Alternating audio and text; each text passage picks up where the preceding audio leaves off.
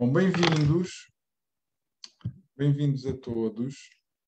Um, uh, bem-vindos a todos a mais esta, esta reunião não é? Do, do, da nossa leitura de novas cartas portuguesas, das Três Marias.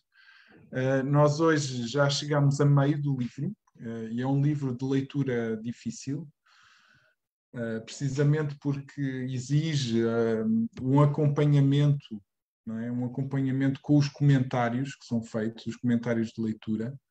São, são textos que estão muito vinculados a, ao seu tempo e que estão também muito vinculados a. Estão também muito vinculados. Estão também, têm também uma, uma ligação permanente ao, ao, texto que lhes deu origem, não é? Às cartas portuguesas da Mariana, desta freira, da Mariana Alcoforado. Uh, estas cartas atribuídas a esta freira de Beja do, do, do século XVII. Um, e então é, é, uma leitura muito exigente porque o diálogo não é fácil, não é, não é fácil de entender. Então temos que estar sempre a acompanhar a leitura com os comentários. Um, nós hoje vamos ter, na segunda parte desta, desta sessão, vamos ter a, a, a nossa primeira convidada surpresa, que é a Ana Raquel Fernandes.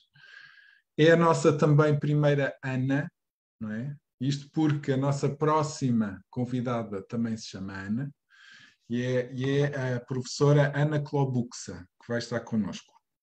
Uh, a professora Ana Klobuxa escreveu um livro, um livro eh, muito interessante sobre, sobre a Mariana Alcoforado, por isso ela, é um, ela está bastante por dentro da, dos estudos eh, à volta das lettres portugueses, não é? por isso vamos poder fazer-lhe muitas perguntas sobre isso. E, e é, vai ser uma, é uma honra, não é? Uma, estamos a receber uma, uma, uma especialista não é? Nesta, nestas, nestes textos.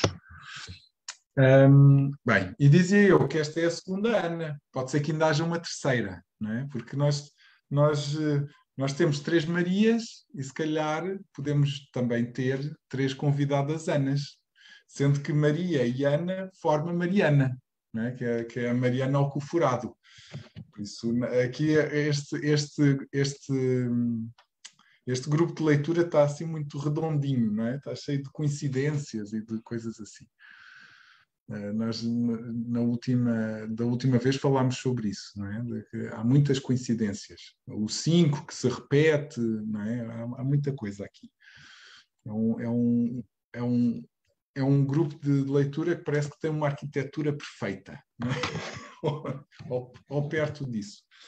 Bom, uh, o que não é perfeito é as condições as condições em que, em que em que esta sessão foi preparada. Eh, eu quero começar por vos pedir desculpa, porque infelizmente este, este, esta sessão do grupo de leitura não teve uma preparação tão. Uh, eu não consegui ter tanto tempo como costumo ter e como gosto de ter para preparar esta sessão de leitura. Isto porque hoje nós aplicamos os exames do, do CAPLE, os exames para certificação oficial, e aplicámos a 40 candidatos, não é? Então foi muita gente e ocupou o dia todo. Então eu não consegui, infelizmente, uh, dedicar o tempo que eu gosto de, de dedicar à preparação do, do, grupo de leitura. Uh, ainda assim, eu tenho, claro, o meu PowerPoint, mas antes de, de falar, antes de falar do PowerPoint, um, ehm, a Maria Elisa queria dizer qualquer coisa, não era? Estava a dizer que há um novo leitor, não foi, Maria Elisa?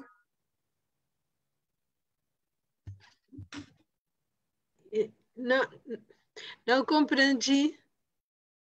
Oh, Estava a Maria, a Maria Elisa a dizer que, que existe um novo leitor neste grupo, não foi assim? Ah, sim, não, uma brincadeira, porque é, a, a professora Elsa Kogonowski é, tem, tem é, o cachorro, estava o cachorro dela. É... Ah, pronto, é um, é um, Sim. é um, é um, um leitor canino, não é? Um leitor canino. Sim. Canin, sim. Bem, muito bem. Sim, senhora. Tá bom. Obrigado. Eu, eu bom. convidei, eu convidei um, um, um, engenheiro que é das ciências eh, duras, como falamos assim, que é brasileiro, mas não sei se ele está. Eu, okay. eu convidei ele, mas esse seria um novo leitor. Ok, ok. Chama-se Vitor Dam, mas não sei se ele está. Ok, muito bem. Um, nós nós uh, mantemos, como vocês repararam, da, da, última sessão para esta, mantivemos exatamente o mesmo link, não é? Isso é, é, é bom, acaba por ser bom, não é? É menos complicado, menos. Uh, por isso eu, eu, acho que estou a gostar deste novo sistema. Não sei o que é que vocês acham, não sei se há alguém que se confunde muito a escrever o nome e o e-mail, ou se toda a gente está, está confortável com esta nova com este, este novo sistema da, admissão às reuniões. O que é que vocês acham? Está tudo bem? Tudo bem? Não há ninguém desconfortável lá? Tudo bem. Pronto. Ainda bem. A Liliana Costa Paz diz que está tudo bem. Pronto, muito bem. Então vamos manter-nos assim. bem, então, o que é que. Vou, vou então compartilhar a tela para para falarmos então do, do, do, PowerPoint que eu consegui preparar, não é? É um PowerPoint muito básico desta vez, porque de facto eu tive muito pouco tempo. Então, esta é a sessão de hoje. E então, eu primeiro queria vos falar um, desta coleção. Esta foi uma, uma coleção que foi feita com um jornal, um periódico, uh, um, um jornal português que se chama Público, não é? Um diário. E então, com o público, saiu no ano passado esta coleção, eh, uma coleção completa de livros proibidos, livros escritos por mulheres, que foram proibidos pela ditadura. E entre eles está as Novas Cartas Portuguesas, a primeira edição. E então é uma coleção que, faz uma. Uh, que, que, escolhe 10 livros, 10 livros, que são reproduzidos uh, eh, que são facsímiles das primeiras edições, não é? Então são só primeiras edições. E depois, além disso, os livros vêm acompanhados, e isso é muito interessante, uh, vêm acompanhados dos relatórios de censura, é? Os, os livros que, que, que os, os, relatórios que, que, retiraram estes livros de circulação. É? E, e, quem me recordou que esta, que esta coleção existia foi a Cláudia Coutinho, a Cláudia Coutinho, que é uma leitora nossa. Um, infelizmente, aquilo que eu tenho aqui é uma reprodução, é uma cópia de um, de um, de um ecrã, não é? porque eu tentei aceder à página do público e não consegui entrar na, na loja, é? na loja do público. Não sei se, o, se a loja do público só, só, está acessível a pessoas que estão dentro de Portugal. Se calhar é, é uma possibilidade, eu não, não sei mesmo. Não, não, não domino. Mas pronto, queria-vos falar desta, desta coleção que está aqui e é desta, desta coleção que, um, que nos chegam então estas, estas uh, reproduções é, de, dos relatórios da censura, é? que nós vamos ver agora de seguida. Então, este, este é o relatório de censura das novas cartas portuguesas. Uh, há uma parte que está escrita à máquina e há outra parte que está manuscrita. É? Então eu vou só ler a parte que está escrita à máquina. Livro Novas Cartas Portuguesas de Maria Isabel Barreno, Maria Teresa Horta e Maria Velho da Costa. Excelentíssimo Senhor Diretor-Geral da Informação. Este livro é constituído por uma série de textos em prosa e versos ligados à história de Mariana, imagino eu, mas em que se preconiza sempre a emancipação da mulher em todos os seus aspectos, através de histórias e reflexões.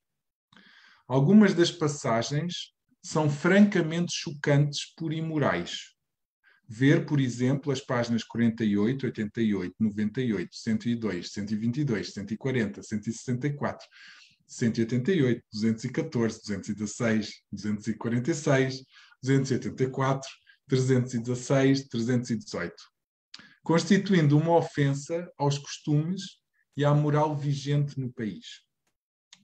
Concluindo, sou do parecer que se proíba a circulação no país do livro em referência, enviando-se o mesmo à Polícia Judiciária para efeitos de instrução de processo crime. É? E de facto foi isso que aconteceu. Houve um processo crime que foi instaurado às três autoras, é? como nós eh, já referimos na, na, última, na última sessão. Foi um processo crime um, no qual se julgaram duas forças. É? Uma que era a força do, do, a força da censura e a força do, do, do Estado português, e outra que era a força de, de, do movimento feminista internacional que já se estava a formar, já tinha, já tinha alguma expressão nesta altura. E então o que aconteceu foi, houve um processo crime contra estas escritoras, mas estas escritoras conseguiram que o seu livro e o seu caso chegasse à França e daí chegasse ao mundo.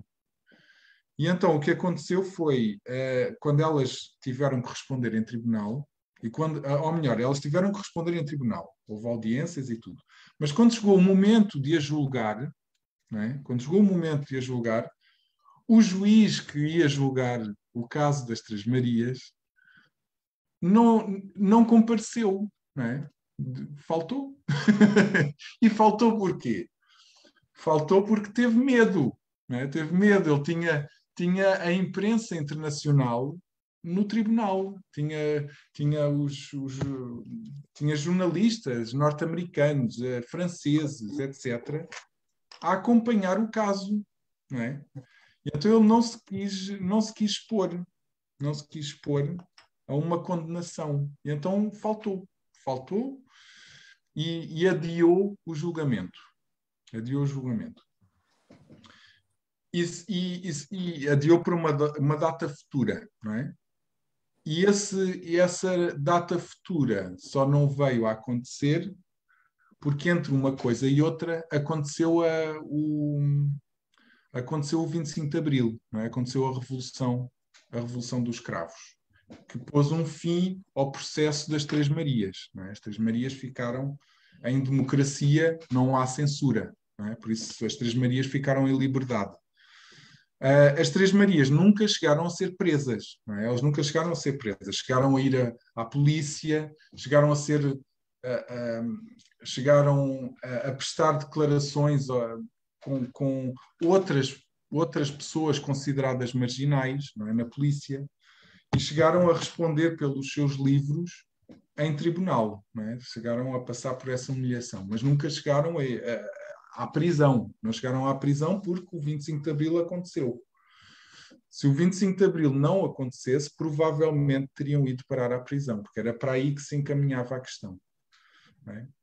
Bom, e então esta, esta, esta pronto, é um, um relatório da censura do livro uh, que nós estamos a ler, as novas cartas portuguesas, e depois temos aqui também uh, outros relatórios de censura de outros livros que estão mais um, ehm, diretamente relacionados com este. É? Um é uh, eh, um, ehm, A Minha Senhora de Mim, é? da, da, Maria Teresa Horta, que foi um, um livro de poesia que antecedeu as novas cartas portuguesas se vocês bem se lembram, nós na última sessão falámos disto, que, que o livro Minha Senhora de Mim foi censurado e a autora foi espancada na rua por causa deste livro.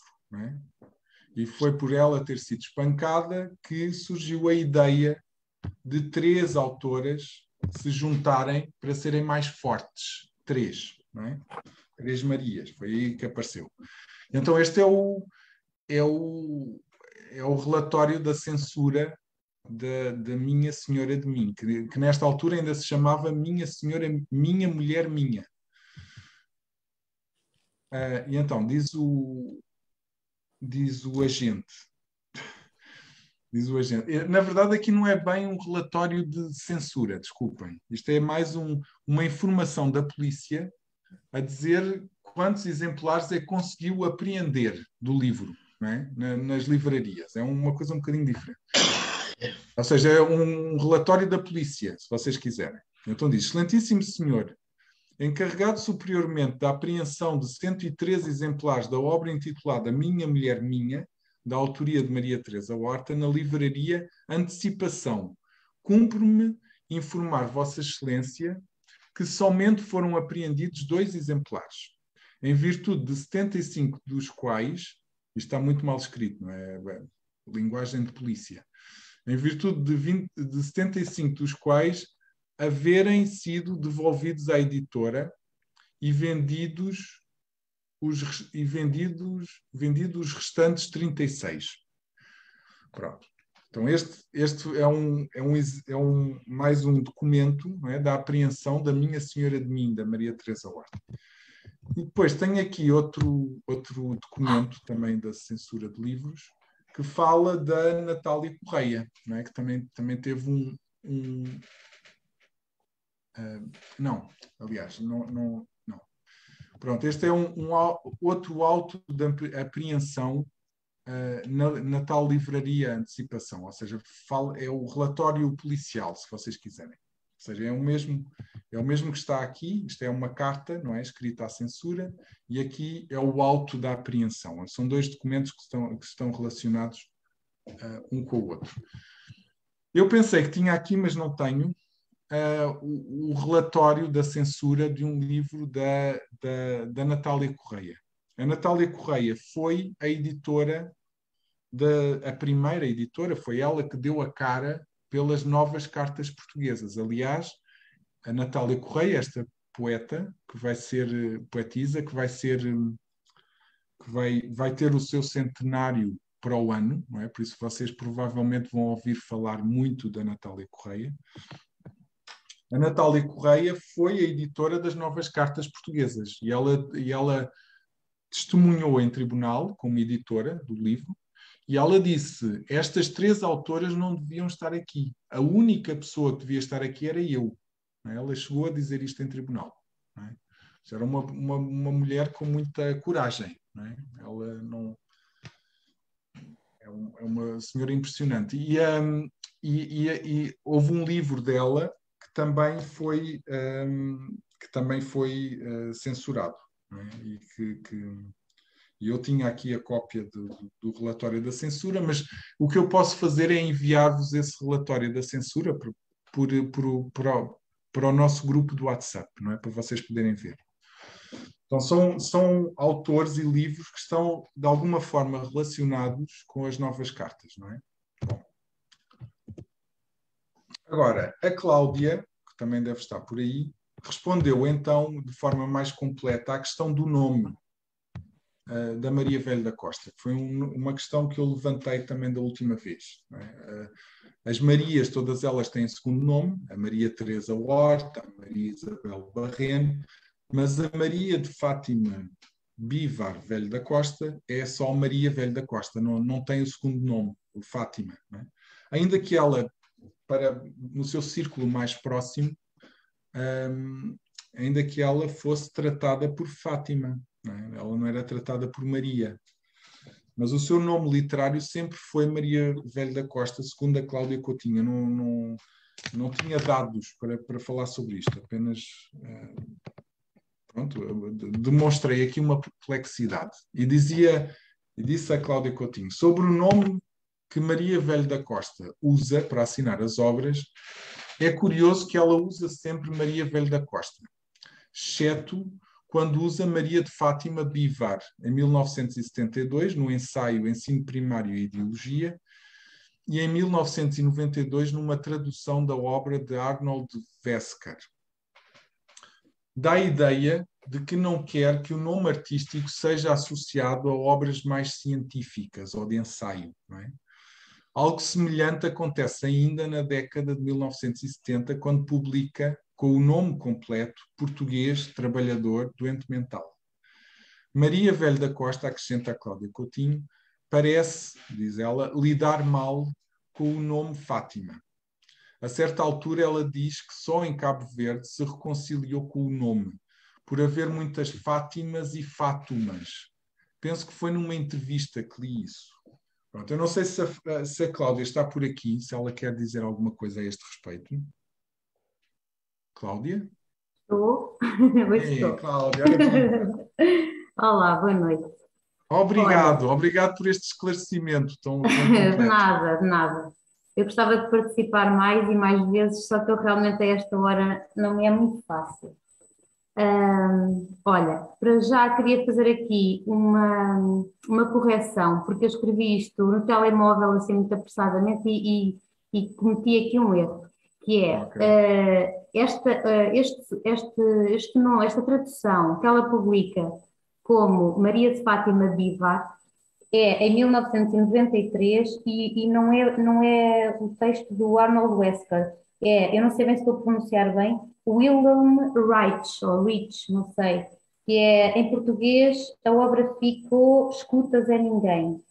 Escutas a ninguém. E ela aí Sim. assinou com o nome todo, foi isso? Eh, não é? Não, não, só Maria de Fátima Bivar.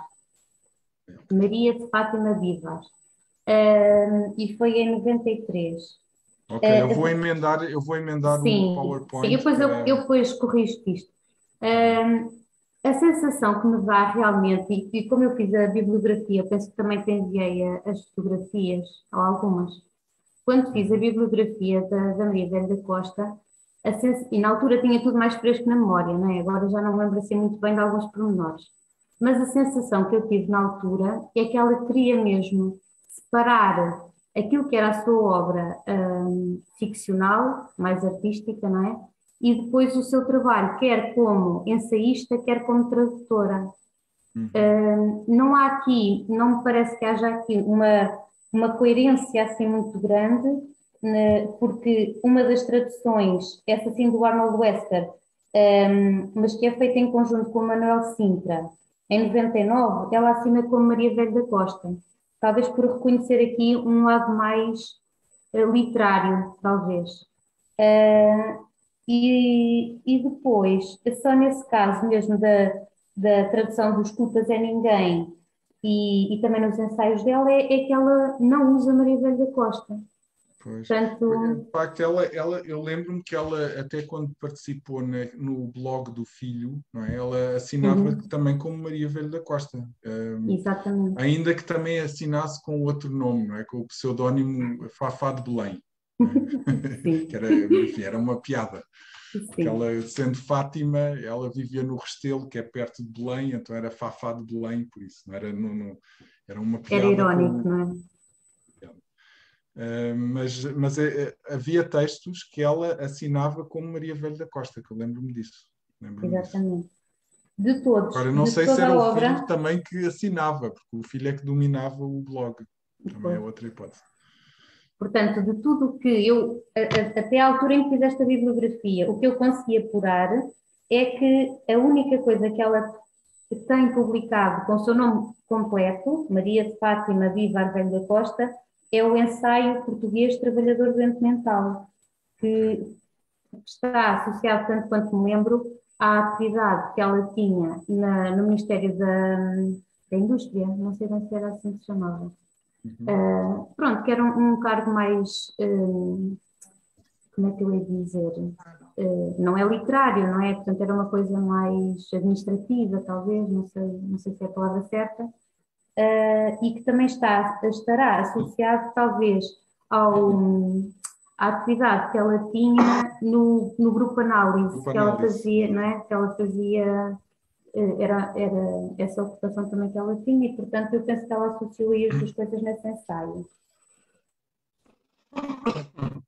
Ok, obrigado, Cláudia. De nada. Muito obrigado. Nós temos hum, esta escritora, Marivelho da Costa, fez parte então desse grupo análise.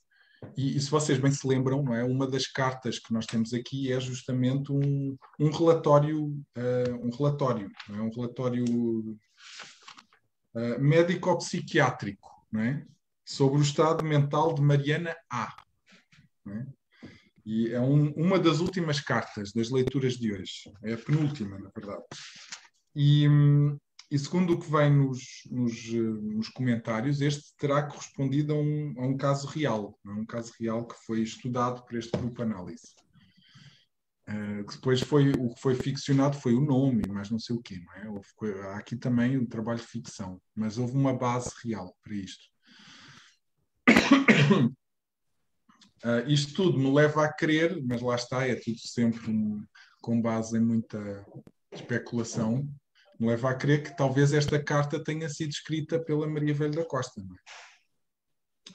Mas a gente nunca sabe, isto, é, a gente adianta sempre estas hipóteses, mas uh, estas, estas três autoras elas estavam em, em permanência não é? em jogo com o trabalho umas das outras. Não é? Elas assumiam a voz de uma das outras e, e eh, disfarçavam-se umas das outras, não é?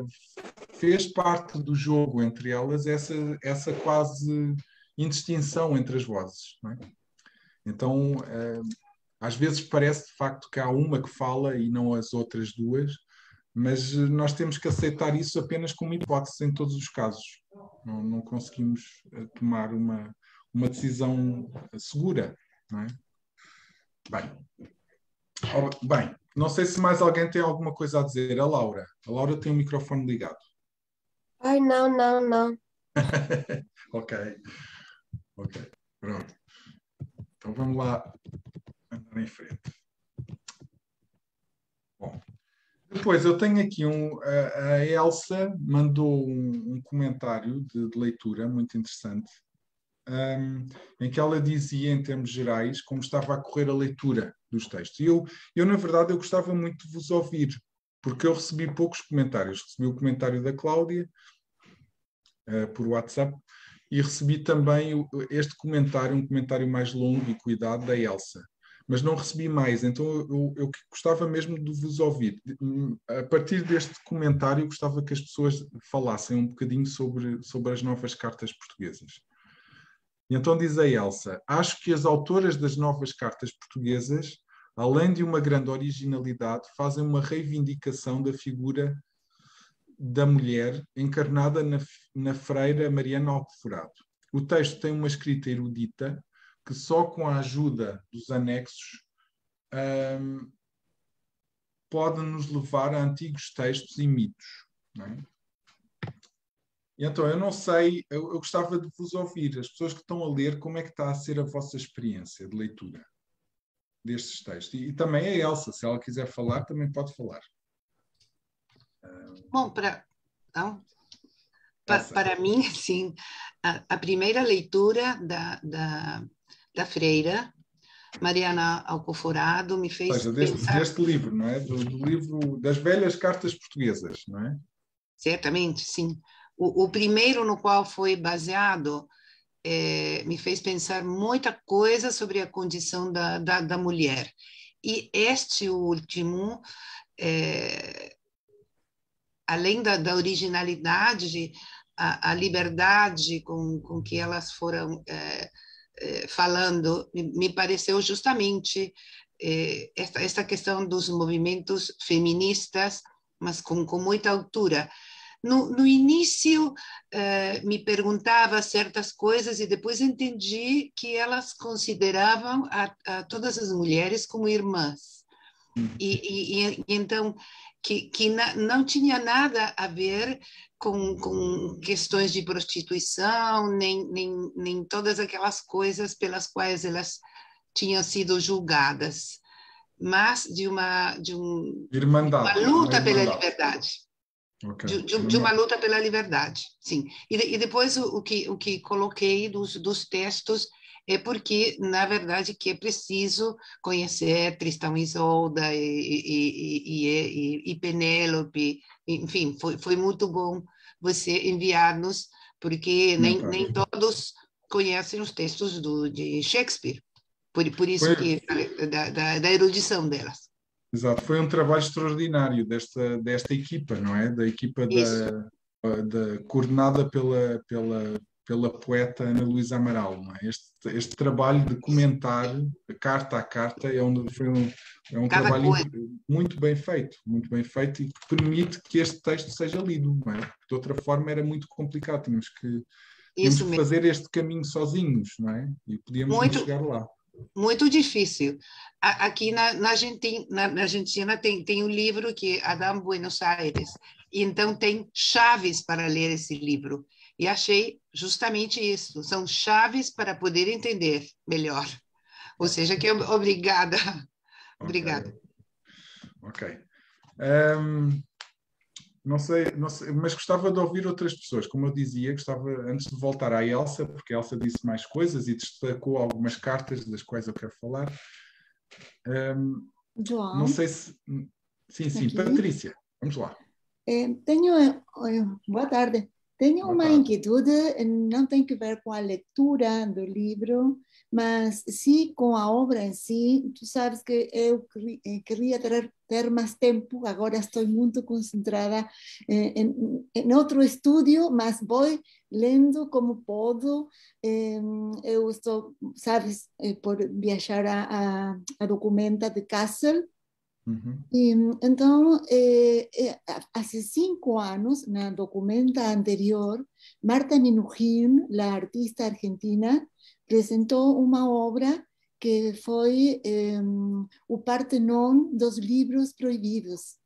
Tu sabes se estes livros estiveram, participaram da obra de Marta Minujín em Kassel, na Alemanha? Não Não, sabes? fa- não sei, não sei mesmo, Bom, mas é uma boa, uma boa pista para se ver. Bom, tendré que ir lá averiguar, ma- mas não, logo investigo, posso, posso fazer isso desde aqui, porque é muito interessante saber se estes livros que foram tão proibidos, como também toda a obra em Argentina, os- os feminismos, como estávamos a falar, também surgiram nos anos 70 através do vídeo, vídeo arte, e também há muita coisa com aquilo da censura, sendo que era interpretado como, sentiam como uma irmandade, não? É, é muito interessante. Nada, eu, era uma inquietude, por se tu sabias, mas eu logo já investigo e comparto com todos. Ok, ok, ok. Vamos ficar à espera. A, a Carmen Benítez também ligou o microfone. Não sei se quer dizer alguma coisa. Não? Eh, ahora no, se, se me desconectó. Ok, ok. A Elsa sim está com a mão no ar. Elsa. Não, só, só ia dizer para ah, que- quem, fal, eh, quem falou antes. Bom, Patrícia, que não- Patrícia. A Patrícia, a Patrícia. Justamente perguntei a professores de literatura, nem professores de literatura portuguesa, que seria mais eh, brasileiros, nem argentinos conhecem, pelo menos no meu círculo. Portanto, é bastante difícil, não conheciam isto, estas É. cartas. É só, só isso. Obrigada. Eh, houve, houve um leitor na última, na última sessão que disse que tinha ouvido falar das do caso das Três Marias no seu momento, não é? naquela altura, nos anos 70, e que depois tinha deixado de ouvir falar no assunto. E provavelmente foi isso, não é? Foi um caso mediático que chegou cá à Argentina, mas o livro não chegou. o livro, livro perdeu-se pelo caminho. Não, sei, não, não, consigo bem explicar porquê, não é? Não é uma, não sei, o, eh, é um livro que parece que não chegou, não chegou com a mesma facilidade ao mundo eh, hispânico, não é? Mas eh, pronto, temos que contrariar isso, temos que contrariar isso. Foi assim há 50 anos, não tem que ser assim agora. é? Então, Nora, a Nora levantou a mão. Sim. Eh, sim, João, eu, eh, eu escutei eh, nos anos 70 sobre as Três Marias. Eu queria lembrar que não lembro agora, por supuesto, eh, eu leía muito Simone de Beauvoir. Hum, E e deve ter sido por Eu aí. no sé si eh, por ahí eh, eh, s- supe escuchar eh, de, de las. Eh, no, no lo tengo bien. Eh, pero sí, bueno, era un momento que acá también eh, era eh, gobierno de facto, eh, se estaba viviendo las mismas cosas, acá se censuraba eh, eh, muchas filmes, eh, música, eh, libros, y eh, lo único que es, sabíamos era de afuera,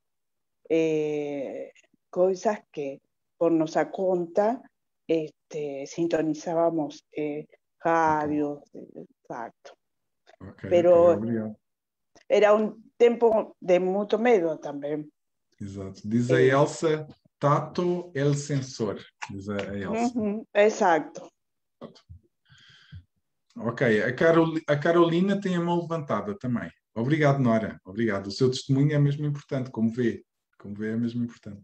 Carolina, Olá, boa noite, João. boa Tanto noite. tempo, Bem-vinda, bem-vinda. Thank you, Fi. há muito tempo. Eh, boa noite a todos. Em, pronto, eu pensei que com o livro do meio já tinha atingido o maior nível de dificuldade, Não. mas não. Na leitura, isto superou completamente. Eh, não, estou atrasada com a leitura porque demoro muito tempo eh, entrar na linguagem. Não, não, a dificuldade não é compreender eh, os valores, o que está a dizer, mas Uhum. como é que o dizem.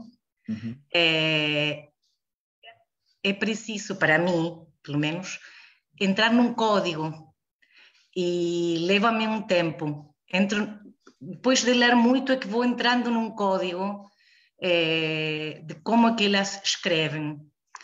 Em, pronto, queria dizer isto e também estive a, a ver o Zoom pelo Facebook da, do encontro passado, que, que não consegui estar. Em, e, e tu falavas de pronto de, de, de que elas três para se proteger eh, ficaram no anonimato de quem é que es- escreveu Um cada pacto, parte. Um pacto com Hum, mas penso talvez que não, não foi só por isso. Provavelmente também eh, não dar identidade da de cada escritora é para que fique a identidade geral da mulher, quer dizer, Hum. é a mulher que fala.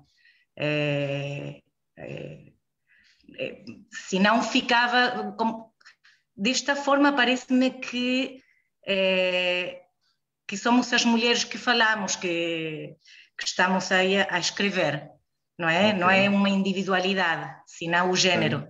Sim, exato. Somos todas irmãs, não é? Exatamente. É uma altura de, de devolver a voz às mulheres, não é? E, Sim. Acho que sim, eh, muito bem. Acho que está muito bem visto, eh, Carolina. Está bem, E obrigado. mais uma coisa que me que, que gostei muito, Uhum. pelo menos eu interpretei assim, é que a, eh, da Mariana, da, daquela freira que não era freira, ou não sei, em, elas têm uma visão, por um lado, crítica daquele sofrimento, eh, mas agarram, eh, tomam o sofrimento como valor próprio eh, da pesquisa do, do ser da mulher, para além do homem. Não sei se estou a exprimir. eh, Não falo, há muito que não falo português. Não, mas está muito bem, está muito bem visto. Eh, O sofrimento, como assim? O que é que tu queres dizer com isso? Aquele o sofrimento, sofrimento, dela, não é? O sofrimento dela corresponde a uma entrega, não é? Uma entrega, uma paixão. o sofrimento dela tem duas caras. É, o sofrimento da, da Mariana é, parece no começo um, um, um sofrimento, um padecimento da, da mulher escrava, do homem, mas ao mesmo tempo aquele sofrimento é o que lhe dá identidade como mulher para além do homem. Uhum. Explico-me? Sim, sim, sim. Estou estou a pensar. Está bem, está bem, estou a entender. Ahm, sim. Eu acrescento aqui uma, uma questão, Sim. João. Se calhar Fátima. porque as mulheres são mais emocionais e depois os homens são mais racionais, não é? E a pessoa tem acesso mais a esta vulnerabilidade, por um lado, de- das mulheres, né? Que se expõem mais em termos das emoções.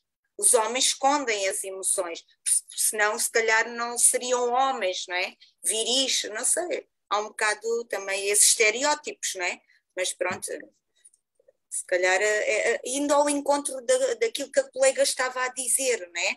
Uh, acrescentei um bocado essa questão de, daquele sofrimento estar uh, associado a, às emoções que as mulheres têm mais facilidade em, em, em uh, veicular, não é? Em deixar transparecer. Não sei se é isso Sim. que a colega também estava a, a querer dizer. Eu penso que, pelo menos naquilo que nós lemos até, até este momento, não é? já aparece uma ideia de que à mulher foi dada apenas uma de duas hipóteses, não é? ou o casamento ou então o convento. Pois o convento ser um espaço de prisão ou ser um espaço de uma liberdade diferente, essa é uma questão debatível, não é?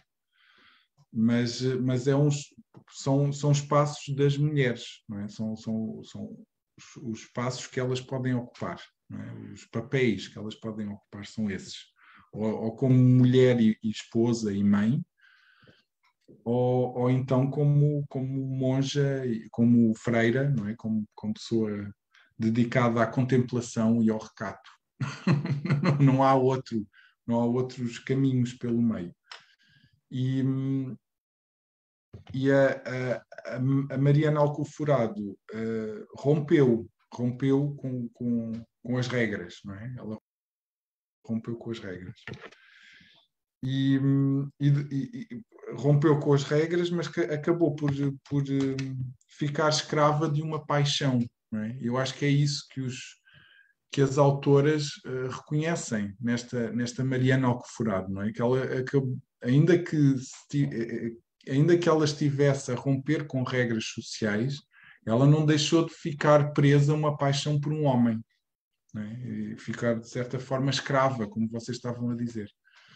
Uh, eu tenho aqui a Elsa. É a vulnerabilidade depois... das mulheres, não é? que às vezes poderiam ser um bocadinho então mais racionais como os homens para evitar essas situações, não é? É o, é o amor como o mecanismo que prende, não é? um mecanismo que prende o homem à mulher o amor como um, um mecanismo que, como uma armadilha, é? uma armadilha. Uh, Elsa. Sim, eu, achei. Uh, primeiro, a Carolina pensou, não sei por quê, que não era que não era uma freira. Eu acho que sim, que era a, Mariana Alcoforado.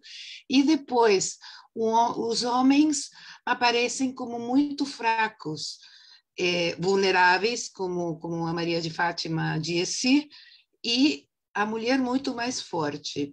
E, e, e, muito mais forte no sentido de que ela ela estava numa prisão e a, a, a freira e, e, e você disse é, que ficou presa do, do amor mas uhum. era com, com esse esse ódio que ela sentia me parece que tentou sair dessa prisão, que era o, o convento.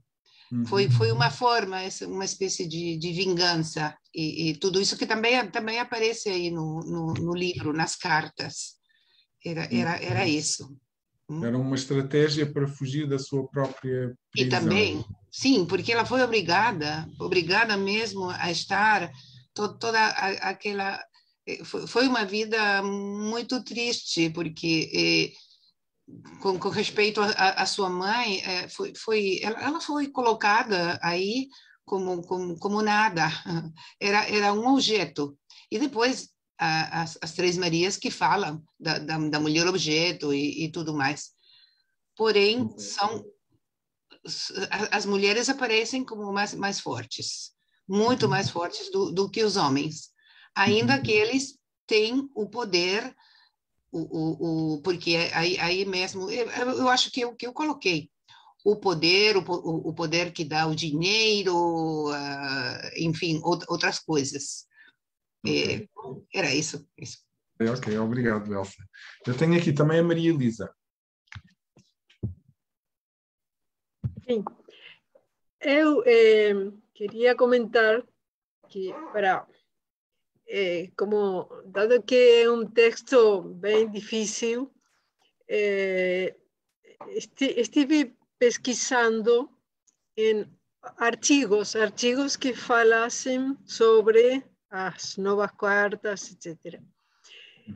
E achei um, um que é muito, muito bom, eh, publicado no Brasil, e um trecho é interessante porque transcrevem eh, os, um, um, um trecho de um diário de uma eh, sobrinha de Marina Al- Alcof- Al- Al- Alcoforado.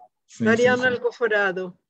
Eh, ela se chamava a sobrinha a Mariana também. Dona Ana, a- eh, Ana Maria Uhum. e, e- e a outra que escreve por volta dos, dos, dos anos 1800, Uhum. muito adiantada também para a época, sobre eh, o que acontecia com as mulheres que Mas esse, ah, Maria Elisa, desculpe interromper-me, mas esse, essa é isso que está a descrever, é uma das cartas, das novas cartas portuguesas. sim, É Sim, uma sim. das cartas que aparece aqui, Sim. que é ahm, extratos do diário de Dona Maria Ana, descendente direto de Dona Mariana, sim, sobrinha de Dona Mariana Alcoforado Sim. e nascida por volta de 1800. E isso que está a Sim, descrever é sim. isto que está aqui. sim, sim, sim. É uma das Isso- cartas, é? Isso está, está muito, muito, muito bem descrito eh, o que acontecia na época e também acredito que eh, verdadeiramente eh, era uma freira, Uhum. mas contra a sua vontade, porque Certo. ela foi, foi colocada no convento pela mãe. E era eh, o costume eh, ancestral era esse de, colocar eh, principalmente as eh, famílias acomodadas, não? Como era a família. Bom, só, só isso. Ok, obrigado, Maria Elisa, obrigado. Eu tenho aqui ainda o Marcelo Canossa que queria dizer alguma coisa. Diga, diga. João, Eu estou a pô-lo à frente da Carolina porque a Carolina já falou, é só por isso, mas a seguir vamos à Tudo- Carolina. ah, tudo bem, tudo bem. E, e, eu queria falar duas coisas. E, uma tem a ver com a escrita em si própria da- das cartas, que, na verdade, eu senti uma, uma fraqueza minha de entrar na sintaxe, uma impossibilidade sintática, não semântica. Não era, não são as palavras que são difíceis ou inatingíveis, não. É, é, é como se fosse o, o armado eh, mais, poe, mais poético do que de prosa, prosaico. Bom, É, isso, por um lado. Isso é, isso é uma marca destas autoras. Estas autoras É, trabalham a exatamente. frase eh, Por- assim, não é? Portanto, achei uma leitura quase intralinguística, quer dizer, a- difícil até mesmo para o leitor de fala portuguesa. Claro, Isso. claro que sim, Marcelo, claro que sim. É. Isso é verdade. É É, uma, é, é um, É, é, é- a é- são poemas, são sempre poemas, não é? São sempre, é, sempre escrita poemas, poética. prosa poética, e o que faz com que tudo seja mais difícil para aquela pessoa que sabe português, mas está eliminando aquela metalinguagem, está, está fora de, de certas condições de leitura plena. Eu me Ok. senti meio alheio à leitura plena. É, e, e, uma, e uma coisa, é, re- retomando, re- revendo aquilo do que você mostrou no começo, da censura, da censura, de, digamos assim, policial sobre os, os, os escritos. Eu vou lembrar aqui que muitos, os mais, eh, pessoas de mais idade talvez se lembrem. Aqui na Argentina, em 68, estou falando três anos antes das cartas portuguesas, três ou quatro, não é? foi feita uma ópera de, sobre o livro do Manuel Mujica Lainez, que é um escritor mesmo da aristocracia quer dizer, com música do maior músico clássico argentino, que era Alberto Ginastera. Foi a ópera Bomarzo. Bomarzo, baseada na, na, na história do, do Bomarzo da Itália. E foi achada hum, obscena, igualmente. E foi, depois de um grande sucesso, foi proibida pela ditadura. Três anos antes. Quer dizer, eu, eu, eu chamaria clima de época.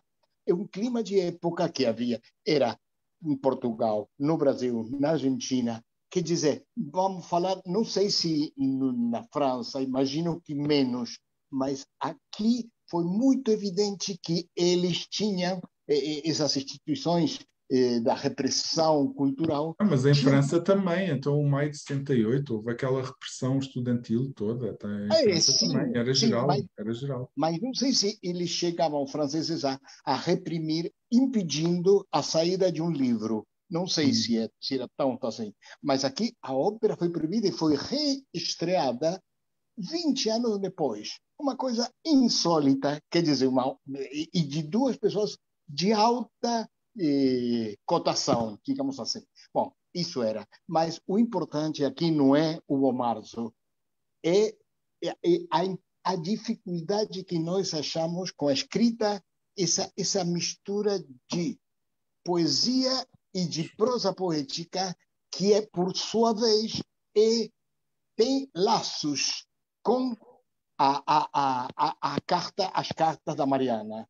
Eu achei as cartas da Mariana. Barroco, não é? Com o barroco, com a escrita é, barroca. É, as cartas da Mariana são é uma peça única, é uma coisa incrível. Eu mandei, acho que você recebeu, um, uhum. havia um tango feito aqui que expressava exatamente a mesma coisa. Quer dizer, é me deixa, mas não me deixa. Eu te odeio, mas te perdoo. Portanto, essa, essa, essa coisa, essa, essa coisa dupla da, da, da, da carta faz com que a carta seja maravilhosa. Que quer dizer, é uma peça genial. É, uhum. Não sei se foi literária, parece que fosse mais um surto do uhum. espírito, uhum. não é? Uhum. é não é de uma escritora, é um surto, é sem pensar. E acho que ela nem pensou ah, essa coisa que seria vergonha não é? Uhum. Mais ou menos, como eu vou me expor dessa maneira? Bom, era mais urgente reclamar, não é? era? mais urgente reclamar o abandono. É, ela, exatamente. Ela, mais do Mas que a vergonha. Não havia Freud nem Lacan naquela época, não havia nada. Não. Ela precisava, ela bom, precisava de. Bom, é, é, bom, bom, acabei. Ok, obrigado, Marcelo, muito obrigado. De nada. Um, agora sim, tenho aqui a Carolina. Ah, sí, é porque encontrei eh, o parágrafo que daquilo que eu falei há um bocado. É, é na primeira carta 3, que é uma carta eh, que está a responder outra às, às primeiras. Isso percebi. E diz: De súbito se despe Mariana para mãos que a firam, a provoquem, a desvariem na sua própria descoberta. Não sei se sonsa, como afirmas nas cartas, se esperta na lástima ostentada, assim se desculpando, se ilibando, apossando-se, todavia do cavaleiro, servindo-se dele como alimento da sua paixão, sustento da sua liberdade, que com paixão se desclausura a freira não sendo o cavaleiro mais do que pretexto motivação. Homem que pensou montar e foi montado. Isto é o que eu acho, a, a, é, falando da Mariana, que pode ser, é, podemos ler as cartas como é, escrava daquele amor e do, e do, do patriarcado e do homem, mas ao mesmo tempo foi a, a única maneira dela obter alguma liberdade, a identidade e Pode fazer conexão fugir, com ela é? própria. Exato, é uma, uma estratégia de fuga, não é? Uma, uma condição feminina, não é? Exatamente, hum. acho, acho muito bem visto, Carolina. É isso mesmo. Bom, muito obrigado, Carolina, e obrigado a todos. E eu agora já tenho por aqui Ana Raquel Fernandes, a nossa convidada de hoje. Por isso eu pedi à Ana Raquel que ligasse o microfone e, Olá, ligasse João. a câmara. Olá. Ora viva, ora viva, que Ouviu bem? Ouvimos e vemos-te muito bem, muito bem. Muito bem. Obrigada. Muito obrigado, muito obrigado por, por aceitares vir, vir aqui. Olha, eu vou, vou apresentar a Ana Raquel.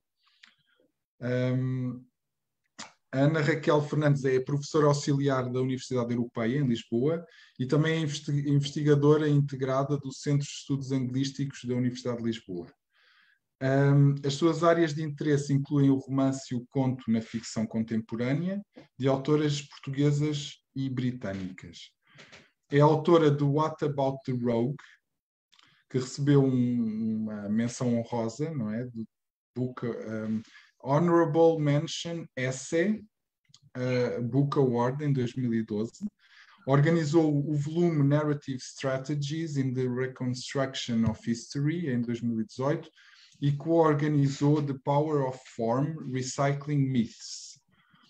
Um, também escreveu uh, Storytelling, Memory, Love and Loss in Portuguese Short Fiction e Beyond Binaries, Sex, Sexualities and Gender, and gender in uh, Lusophone Literatures.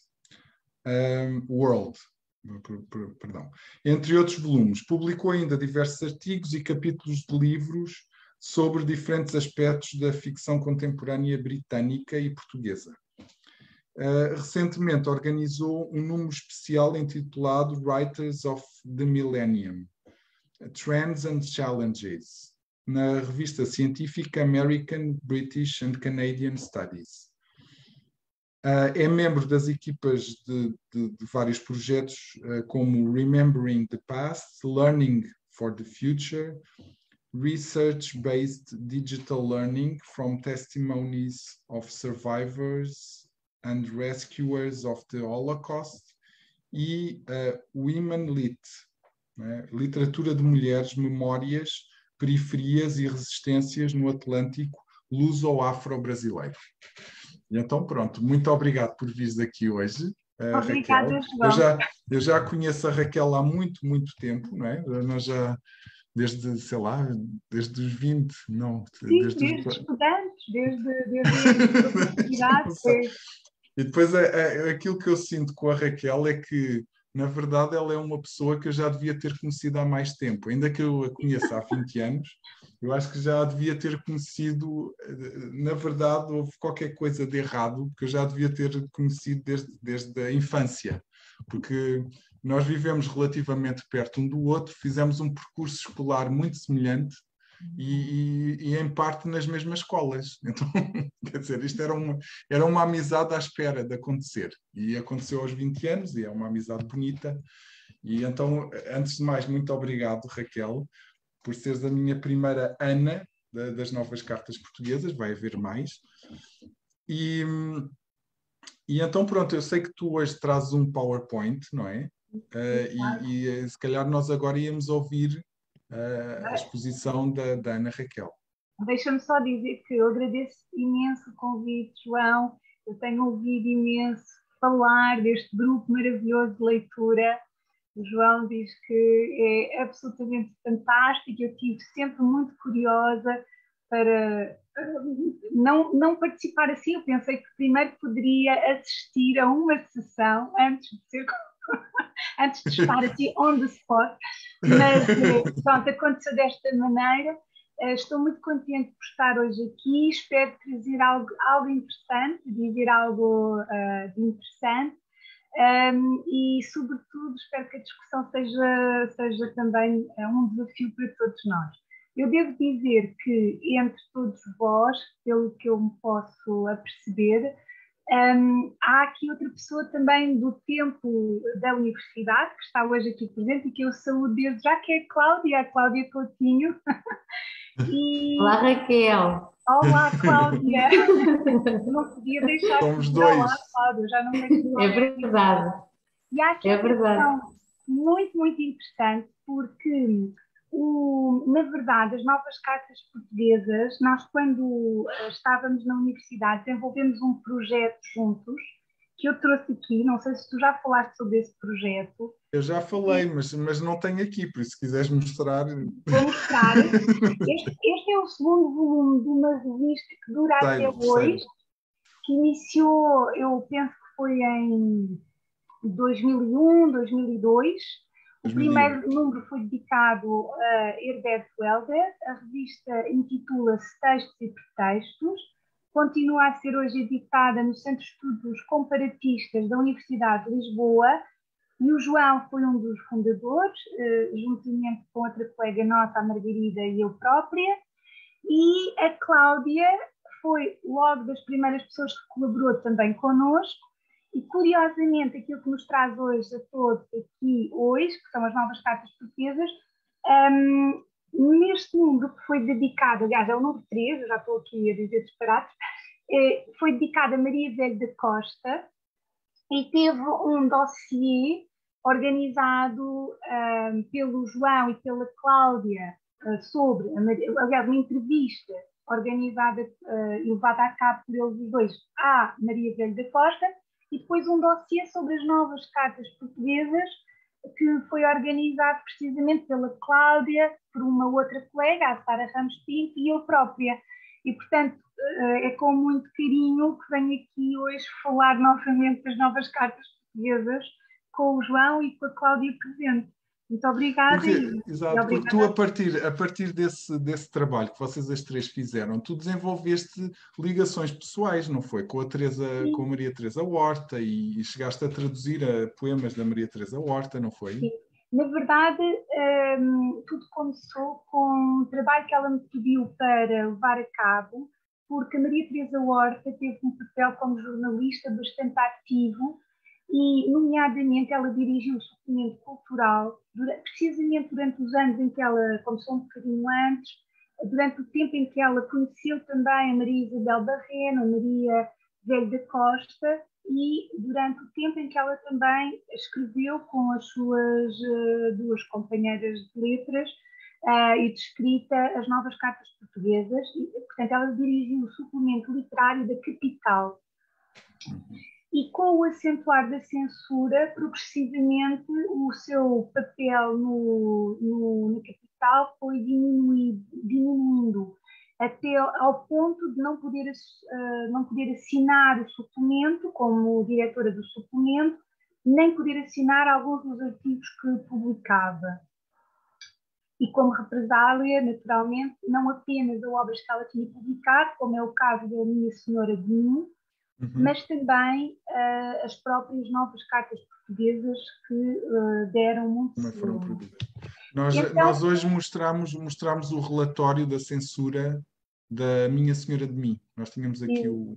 A a Cláudia mandou, foi, foi uma Olha, sorte. perfeito. Eu devo dizer que tenho algum desse material também hoje aqui para vos mostrar, que compilamos no seguimento ah, do- da preparação do congresso que fizemos em honra da Maria Teresa Horta na Faculdade de Letras da Universidade de Lisboa, antes do Covid, mesmo antes do Covid, em 2019, e onde organizámos uma exposição eh, que, que esteve, decorreu na Biblioteca da Faculdade de Letras e onde, graças ao espólio da própria Maria Teresa Horta e à ajuda do marido Luís Barros, na altura ainda eh, vivo, conseguimos digitalizar e disponibilizar para as pessoas verem muitos dos autos de apreensão ahm, e, e não só dos, dos livros, ah, inclusive das novas cartas portuguesas também. Tenho alguns, alguns documentos que posso partilhar convosco, por curiosidade também histórica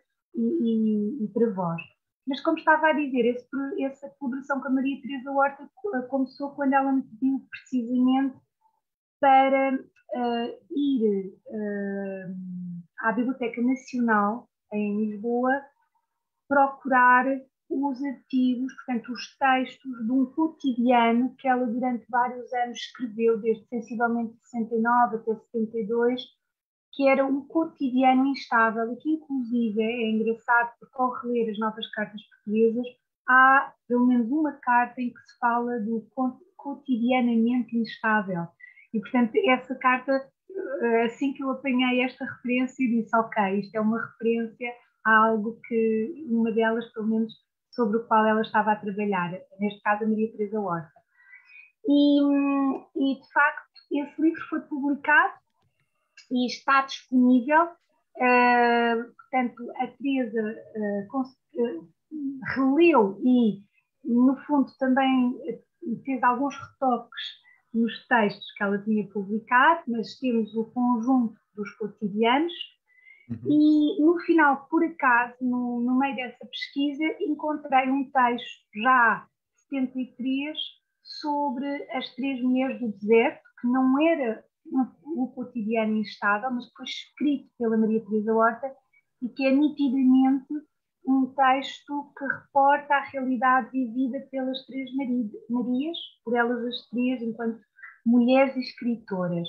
Esse texto também aparece no final do livro como o, o último texto que conclui essa recolha de crónicas, que tem uma, bela, uma pequena introdução no intuito de contextualizar também a atividade jornalística da Maria Teresa Horta nesse, nessa época.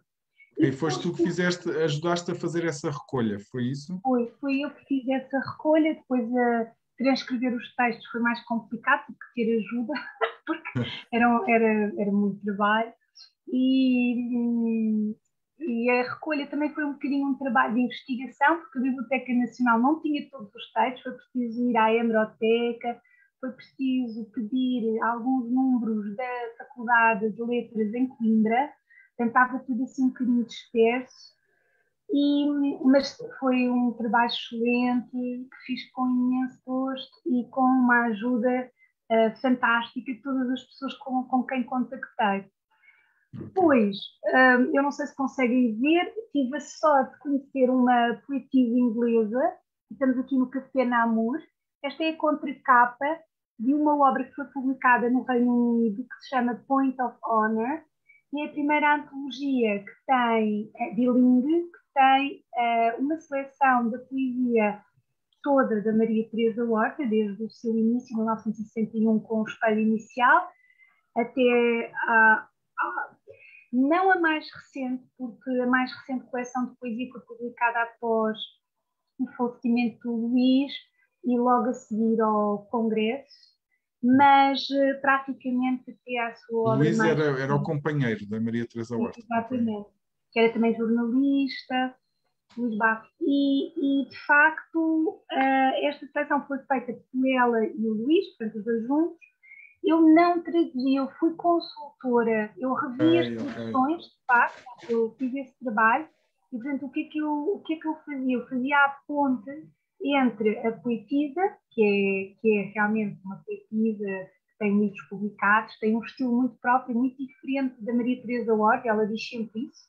o que me permitiu eh, traduzir foi o facto de não haver aqui sobreposição com uma, um estilo... Vozes poéticas. Exatamente.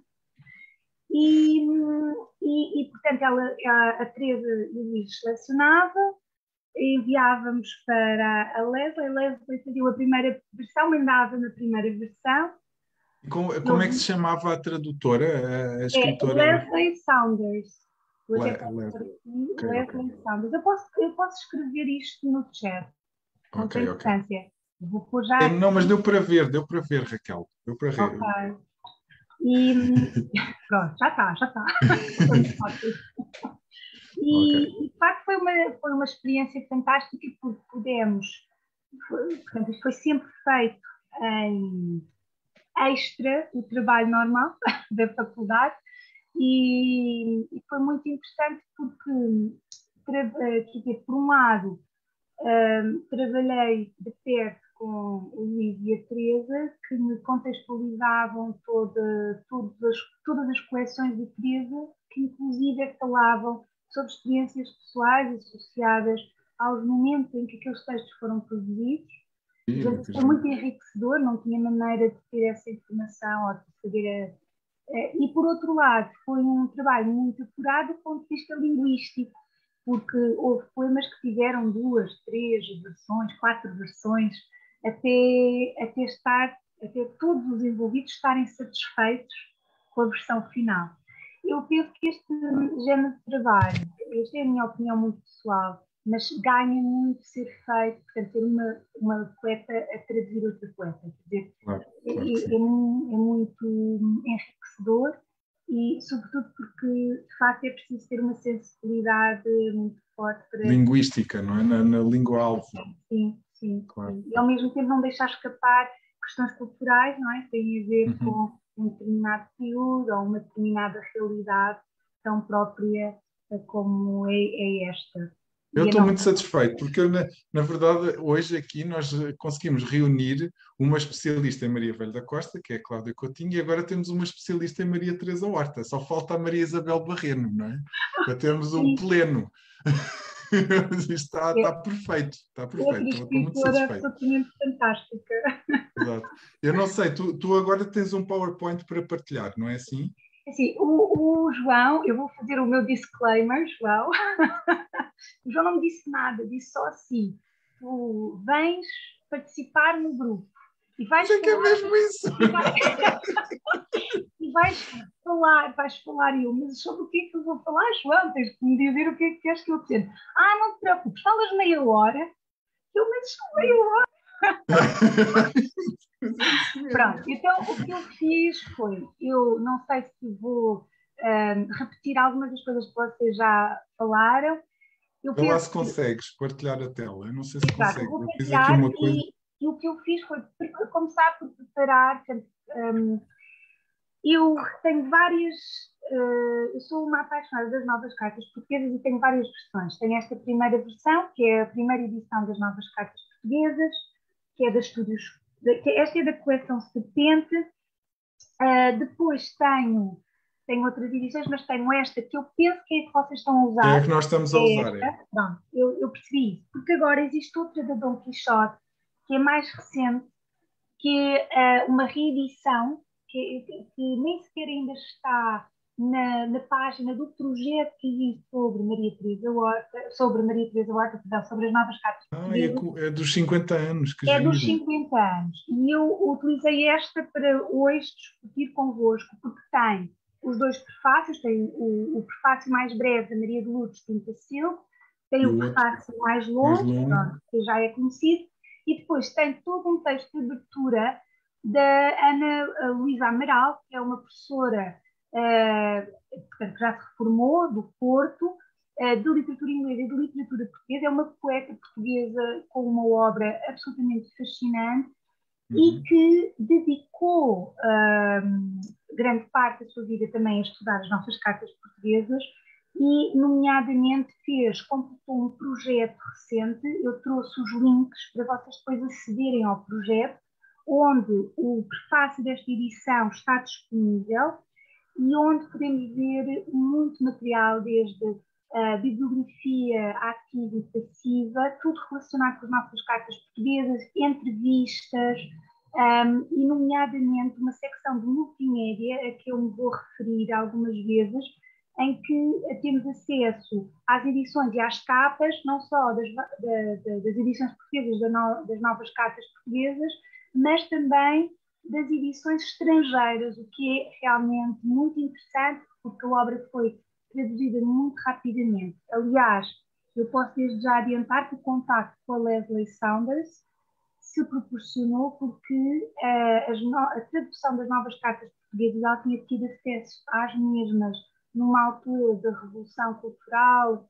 eh, no Reino Unido, nos anos 70, em 73, portanto as, as- as cartas foram imediatamente traduzidas para inglês e ela ehm, ficou sempre fascinada com um livro. E, portanto, ela, ela tinha este projeto, ela já é uma pessoa também, já está reformada, e ela tinha este projeto desde sempre, que era conhecer uma das Três Marias, nomeadamente a nível da poesia, ela queria contactar e traduzir a Maria Teresa Horta. Portanto, eh, e tudo devido às novas cartas portuguesas e ao impacto que te- teve na própria luta eh, pela emancipação e pela igualdade dos direitos eh, por todo o mundo, ocidental sobretudo, mas também no Reino Unido. Foi a primeira causa internacional, não é? A primeira causa Exatamente. internacional do movimento feminista. Exatamente. Então eu vou, eu vou eh, partilhar, vamos aqui compartilhar tela, eu já tenho, eu espero que. Consegues? Consigo. Acho que a história é já muito avançada. Então vamos começar pelo slide 1. Agora deixem-me só aqui. Não sei se posso pôr isto mais, porque eu tenho estado no meu ecrã escondido. Pronto, acho que agora já consigo. Não sei se vim bem. Está ótimo, está ótimo, eh, Raquel. Sim, ótimo, ótimo. Então, Está o que eu, ah, vamos começar aqui. Se- pá, nem entendo aqui porque eu continuo aqui com isto muito grande. Talvez consiga diminuir. Acho que sim. Acho que consigo ainda ver-vos e tenho isto diminuído para não me tapar o ecrã. Pronto. ok. Então, hum, o, o que eu fiz foi preparar um PowerPoint e já não é a primeira vez que falo sobre estas questões de contextualização histórica das novas cartas portuguesas, que penso que ajudam a entender melhor o texto. Um texto que tem um valor literário enorme e, e muitas vezes, ou durante muito tempo, as novas cartas ah, foram talvez desconhecidas do público enquanto texto com um valor intrínseco literário, foram ou eram ahm, conhecidas pelo seu valor eh, até político, não é? Ou contestatário, revolucionário, mas de facto esse valor é muito importante, mas há outros associados, aliás, como as vossas intervenções, quando eu cheguei, ainda ouvi algumas intervenções, demonstram. Então, hum, de facto, eh, é importante situar as novas cartas, eh, a elaboração das novas cartas portuguesas, precisamente nos anos 70, nos 20 dos anos 70, enquanto Portugal era dominado por uma ditadura fascista, que nós, entre 26 e 28, nós tivemos um golpe militar hum, e uma ditadura militar que eh, em 28 terminou com a eleição de Oscar Carmona e com a eleição de Salazar como ministro das Finanças. E nós falamos de Estado Novo, ah, propriamente dito, a partir da entrada em vigor da Constituição ah, Portuguesa em, de 1933, e nomeadamente ah, a partir da Segunda República. Então, nós temos uma ditadura ah, bastante longa e se contarmos com a ditadura militar, de facto, esse período aumenta ainda mais. ah, e, um, e Oliveira Salazar, ah, que tudo que comanda os destinos do país, não é? Há, há de facto uma ordem que é normalmente definida como Deus, Pátria, Família, não é? E há uma censura enorme ah, e, de facto, há uma opressão enorme sobre o povo, há um grande nível de analfabetismo, as mulheres ah, não podiam votar em geral, não era algumas mulheres podiam votar, mas ah, não, não, não Era preciso, era preciso um. um, era ser preciso chefe, cabeça de família, ou seja, e ser- saber, saber ler e escrever e mais não sei o quê, não é? Exatamente. Coisas que os homens não tinham que. não tinham que provar, não não precisavam. E, nomeadamente, só para ter uma ideia, as mulheres também não dispunham, portanto, ehm, até muito tarde, as mulheres, eh, a partir do momento em que casavam, deixavam de poder gerir os seus bens e tinham de ter também, entre outras coisas, a autorização eh, do marido ou do, do chefe mais próximo de família, um pai ou um irmão, para poderem viajar e ausentar-se do país. Uhum. Portanto, a situação era muito complicada. Em 68, um, António de Oliveira Salazar, António de Oliveira Salazar foi afastado do governo, eh, ele tem uma célebre queda, não é? O momento da história em que ele cai, tem um hematoma craniano que o deixa incapacitado e é substituído por Marcelo Caetano.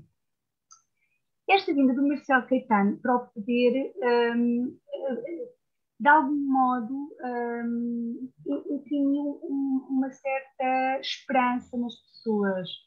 Uh, e esta é uma época erroneamente chamada de Primavera Marcelista, ou conhecida como a Primavera Marcelista, porque, de facto, Caetano anuncia uma, uma abertura política, mas, mas na prática a governação continua a ser ditatorial e repressiva.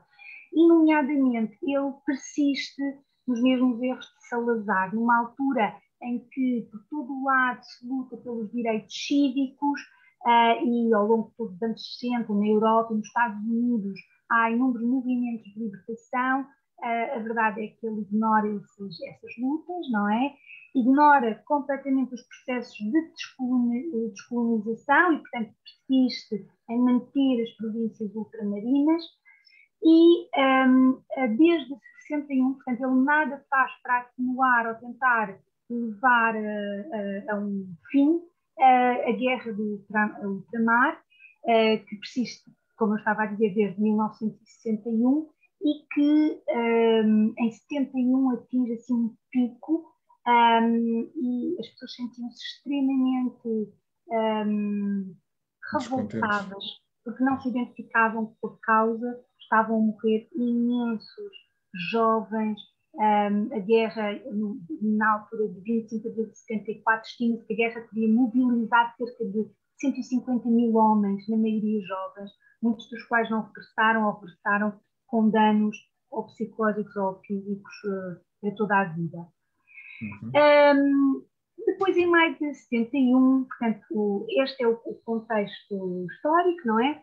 Uh, nós agora, o que eu pensei foi, era interessante uh, colocar aqui um paralelo, portanto, lá deste, todo este descontentamento, toda esta, esta um, realidade e perceber então como é que estas três, três autoras um, pensam as novas cartas portuguesas. A gente é de facto em maio de 71, o encontro dá-se em Lisboa, entre Maria Isabel Barreno, Maria Teresa Horta, Maria Isabel da Costa, e elas decidem escrever um livro a seis mãos. Elas eh, já se conheciam antes, uh, não as três, portanto, um, a Maria da Costa e a Maria Isabel Barreno já se conheciam, depois, um, entretanto, elas rapidamente se apresentaram umas às outras e começaram a almoçar juntas. Elas vinham todas da Faculdade de Letras, não era assim? Sim, sim, todas Também é elas eram, eram, eram da Faculdade de Letras. Aliás, em relação às biografias delas, eu posso realmente dizer-vos que a Maria Isabel Barreira nasceu em 39, 1939, morreu em 2016. Ela é natural de Lisboa, licenciou-se em Ciências Histórico-Filosóficas na Faculdade de Letras de Lisboa. A Maria Teresa Horta nasceu em 1937 também em Lisboa e frequentou a Faculdade de Letras. Uh, é a única que ainda uh, está entre nós. A Maria Velha Costa nasceu em 1938, uh, eh, morreu em 2020, também em Lisboa, licenciou-se em Filologia Germânica, também na Universidade de Lisboa. Portanto, elas são todas oriundas de Lisboa, têm todos o mesmo, sensivelmente o mesmo percurso académico e frequentaram todas a Faculdade de Letras. Uhum. Todas elas já tinham publicado livros que tinham dado que falar, se me permitem esta expressão. Uh, as obras uh, foram obras marcantes, uh, foram obras marcantes de um ponto de vista político, não é? Forte político, em que naturalmente se problematizava o papel da mulher na sociedade, mas também são obras que, do ponto de vista literário e experimental, são muito interessantes.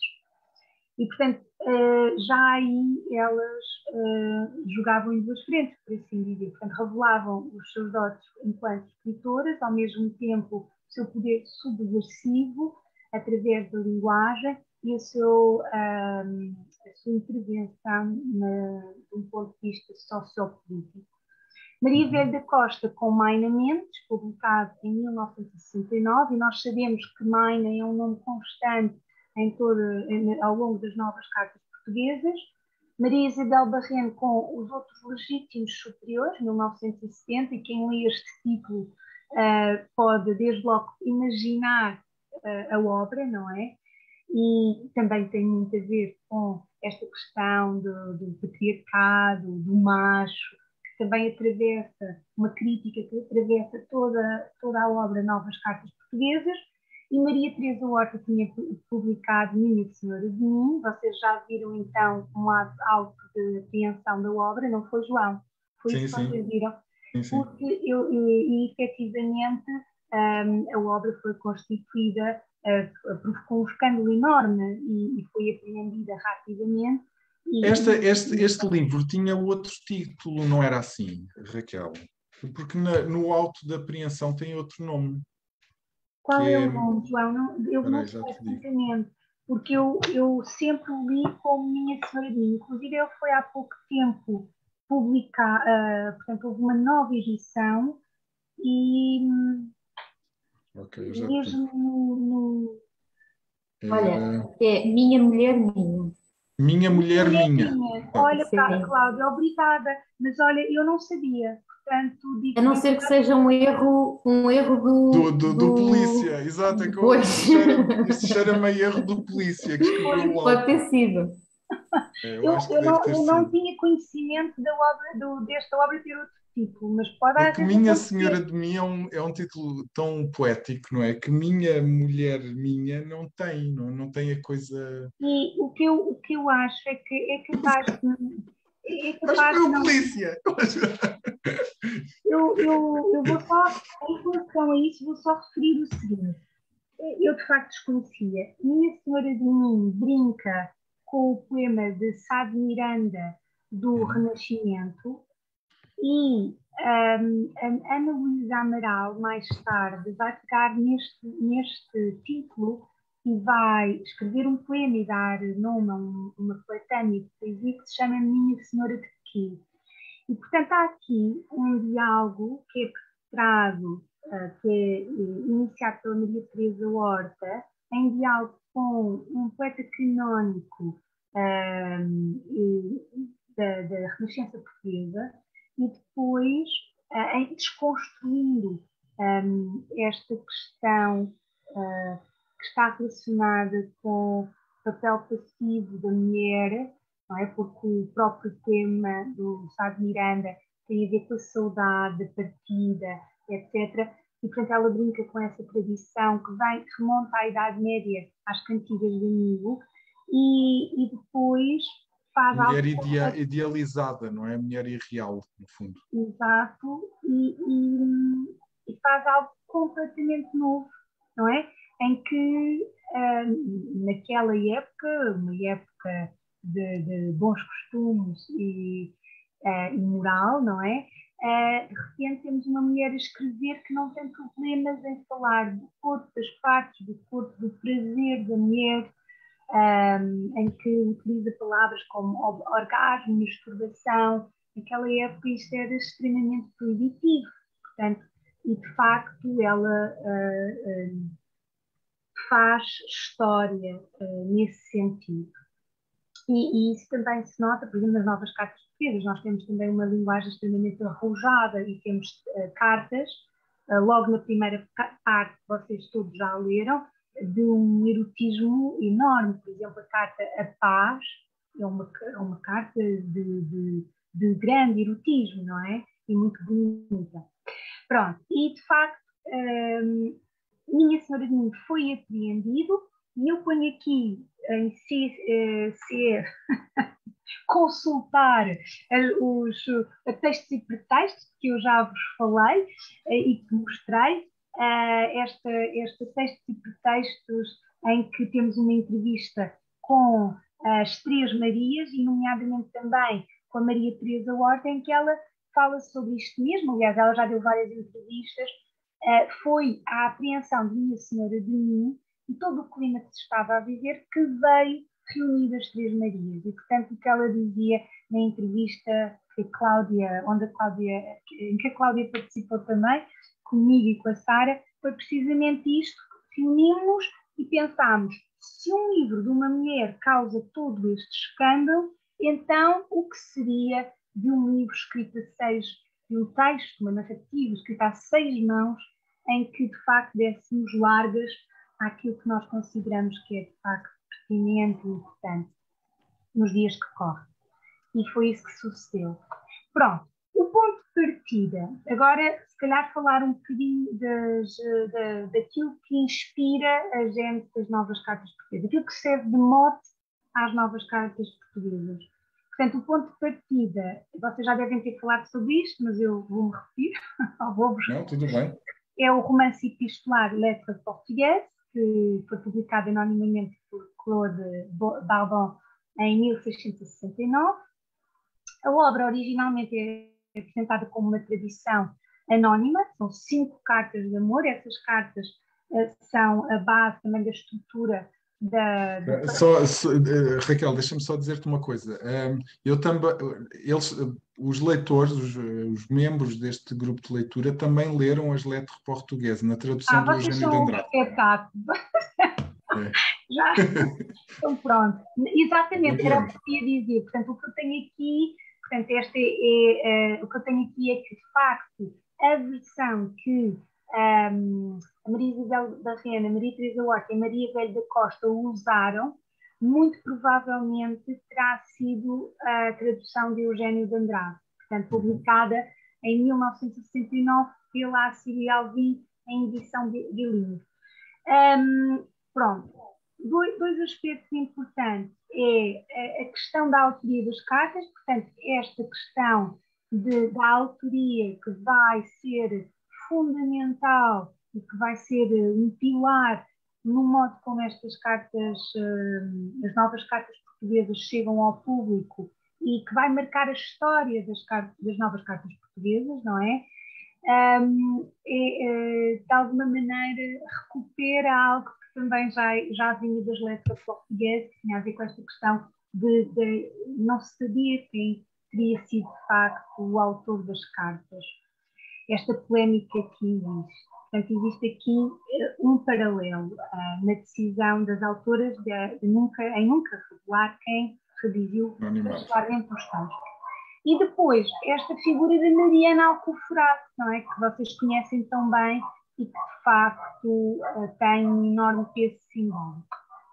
Pronto.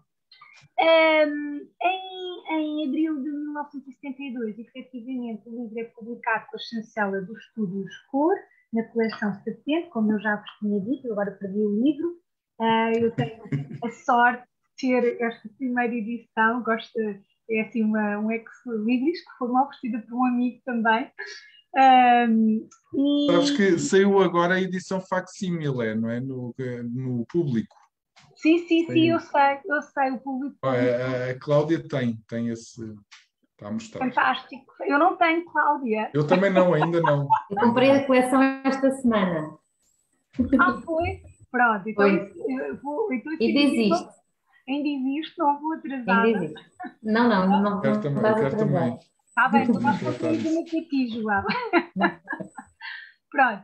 Uh, agora, há aqui outra personagem muito importante, na, no, que é também uma, uma poetisa portuguesa, eh, que tem uma, um papel importantíssimo uh, nesta época, que é precisamente a Natália Correia, que dirige, na altura, uh, dirige, tem a direção literária deste, desta editora e que, Estúdios Cor, e que, contra tudo e todos, decide publicar na íntegra as novas cartas portuguesas, porque todos os livros tinham que passar pela censura, não é? E, e, na verdade o que sucede é que o livro é, é bastante censurado e, portanto, a autorização para publicar vem com cortes imensos e a Natália Correia decide que não vai fazer cortes e que, portanto, publica o livro por inteiro. Claro que, três dias após a publicação, a primeira edição é apreendida, é destruída o maior número de livros possíveis e um, é instaurado um processo judicial às autoras. O processo é movido pelo próprio Estado português e o livro foi considerado conteúdo insanavelmente pornográfico e atentatório da moral pública. Este é o parecer de proibição das novas cartas portuguesas, e, entre outras justificações, estes, o censor ou, ou, a comissão de censura fala, por exemplo, do erotismo. E eu talvez começasse a ter por, antes de mostrar aqui o que tenho destes pareceres, que eu tenho alguns pareceres, tenho os autos de apreensão e gostava de partilhar convosco, só por curiosidade, posso ler aqui na página 48, mas é da primeira edição, o, precisamente no vosso texto é o, a carta que se intitula A Paz, ou é o texto que se intitula A Paz, E, um, na página 36, não é? Na página 36. exatamente. E, de facto, eu acho que vale a pena, pelo menos. Que é sobre, é- enfim, é uma é uma é um excerto que fala da masturbação feminina, não é? Exatamente. Mas mais do que só a masturbação, eh, eu, eu penso que é um excerto belíssimo sobre o corpo. Claro. O prazer de- do corpo, o prazer do prazer corpo, do claro. corpo. Exatamente, João, exatamente. Então eu se calhar leio um bocadinho, só para, para percebermos que isto de facto chocou hum, e foi uma das partes imediatamente identificadas como e censuradas. Com praxe Mariana com o seu corpo, o hábito despido na cadeira resvala para o chão, onde as meias à pressa tiradas parecem mais grossas e mais brancas. As pernas, brandas e macias, de início estiradas sobre a cama, soerguem-se levemente, entreabertas, hesitantes, mas já os joelhos se levantam e os calcanhares se vincam nos lençóis, já os rins cerqueiam no gemido que aos poucos tornará contínuo, entrecortado, retomado logo pelo silêncio da cela, bebido pela boca que o espera. Que interessa então a Mariana as mãos que o encaminham? Se as suas que descem lentas pelas ancas, se as dele que alargaram de improviso. Quebra-se, pois, a clausura. Pelos seios ele a tem segura, a rasgar-lhe os mamilos com os dentes. Quebra-se, pois, a clausura. E depois continua, e portanto há, há aqui esta troca entre os dois amantes, e, e, de facto é um texto uh, muito erótico e belíssimo, muito bonito, porque é muito poético também. E, hum, e claro, uh, isto é um dos momentos que é desde logo um, uh, identificado. Um, antes de vos mostrar alguns dos documentos que eu tenho digitalizados, uh, devo só dizer que as autoras uh, foram, portanto, um, acusadas e foram sujeitas a interrogatórios da PID, DGS, a Política Internacional, a Polícia Internacional e a Defesa do Estado, Direção-Geral de Segurança, este, este, é o nome completo para a, sigla, na tentativa de descobrir qual delas havia escrito as partes consideradas de maior atentado à moral. Mas a verdade é que todas elas se recusaram e a Cláudia também é testemunha numa, numa das entrevistas que fizemos, eu penso foi a Maria Isabel Barreno, mas a Maria Teresa Horta também falava disto. É, a certa altura elas diziam que, que, na verdade, elas tinham escrito o livro como um cadáver ski, em que ninguém sabia bem o que, é tinha antes e, portanto, uh, era uma prática, um, uma espécie de experimentalismo, não havia maneira de se descobrir quem tinha escrito o quê. E, portanto, eu também tenho hoje para vos mostrar o mandato de captura de Maria Teresa Horta, que é o dela, todas as, as autoras, portanto, as três autoras tiveram um mandato de captura. Em 73, 25 de outubro de 73, dá-se então o início do julgamento, que só não tem lugar devido à Revolução de Abril, efetivamente, e também Uh, eu acho que houve ali um, um elas, uh, houve um compasso de espera, porque a pressão mediática internacional, uh, sobretudo movida pelos movimentos feministas, com um apoio muito grande de feministas francesas, americanas, inglesas, intelectuais, também, não apenas ligados aos movimentos feministas, mas da liberdade, não é? E da luta dos direitos cívicos se moveram e, portanto, este, o, o, o, Estado Novo português, Marcelo Caetano, neste caso, e o seu governo, viram-se muito pressionados também pela, pela opinião pública estrangeira. E penso que isso terá tido também um papel no facto de ela. É, de tal maneira que o juiz não compareceu no dia do julgamento, não é? Há essa, exatamente, exatamente. Menor Portanto, quase humorístico, o juiz teve medo.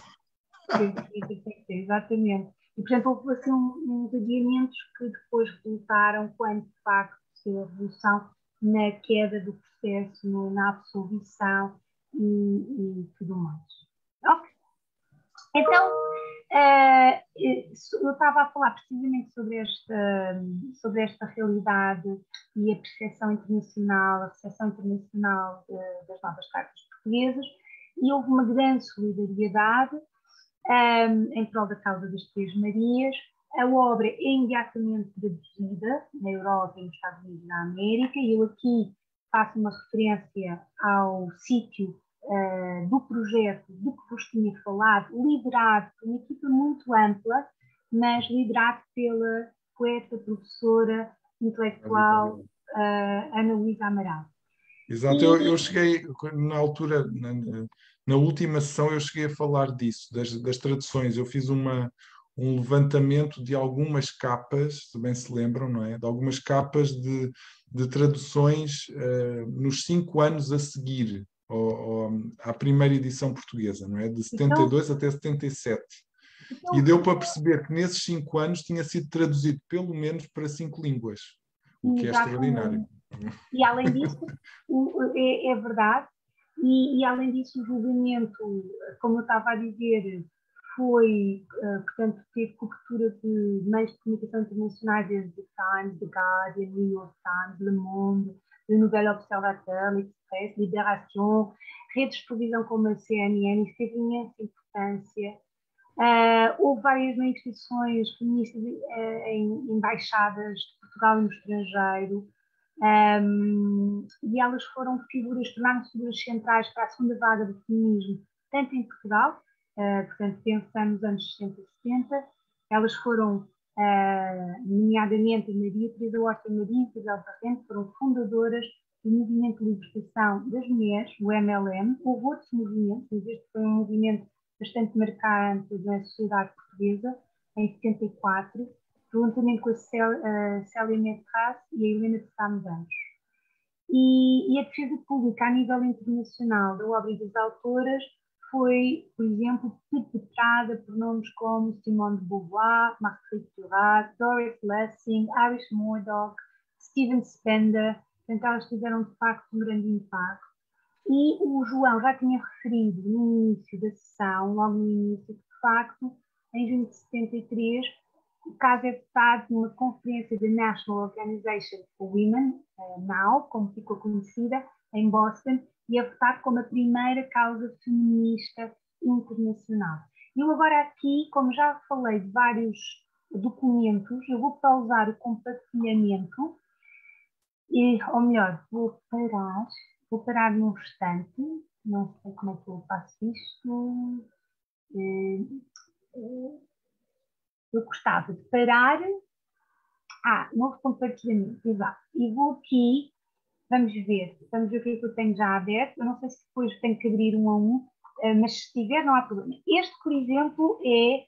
Não sei se vocês estão a ver. Vamos a ver. Pronto. Este é, por exemplo, no The Guardian, em 2 de abril de 73, aparece uh, Raymond Gardner on why free women writers are awaiting trial in Portugal. Portanto, é um dos artigos que saiu no The Guardian, que já na altura era um jornal de peso, para é, é, é, causa desta questão das Três Marias. Depois, agora vamos ver se eu consigo aqui. Esperem só um bocadinho, que eu tenho que fazer um a um. Ah, tenho que fazer um a um para chegar lá. Vamos aqui é isto. É, e. Hum, ah, já percebi. Está aqui. Então, agora vou-vos mostrar, por exemplo, alguns. Uh, tem este aqui, que também é muito interessante. E.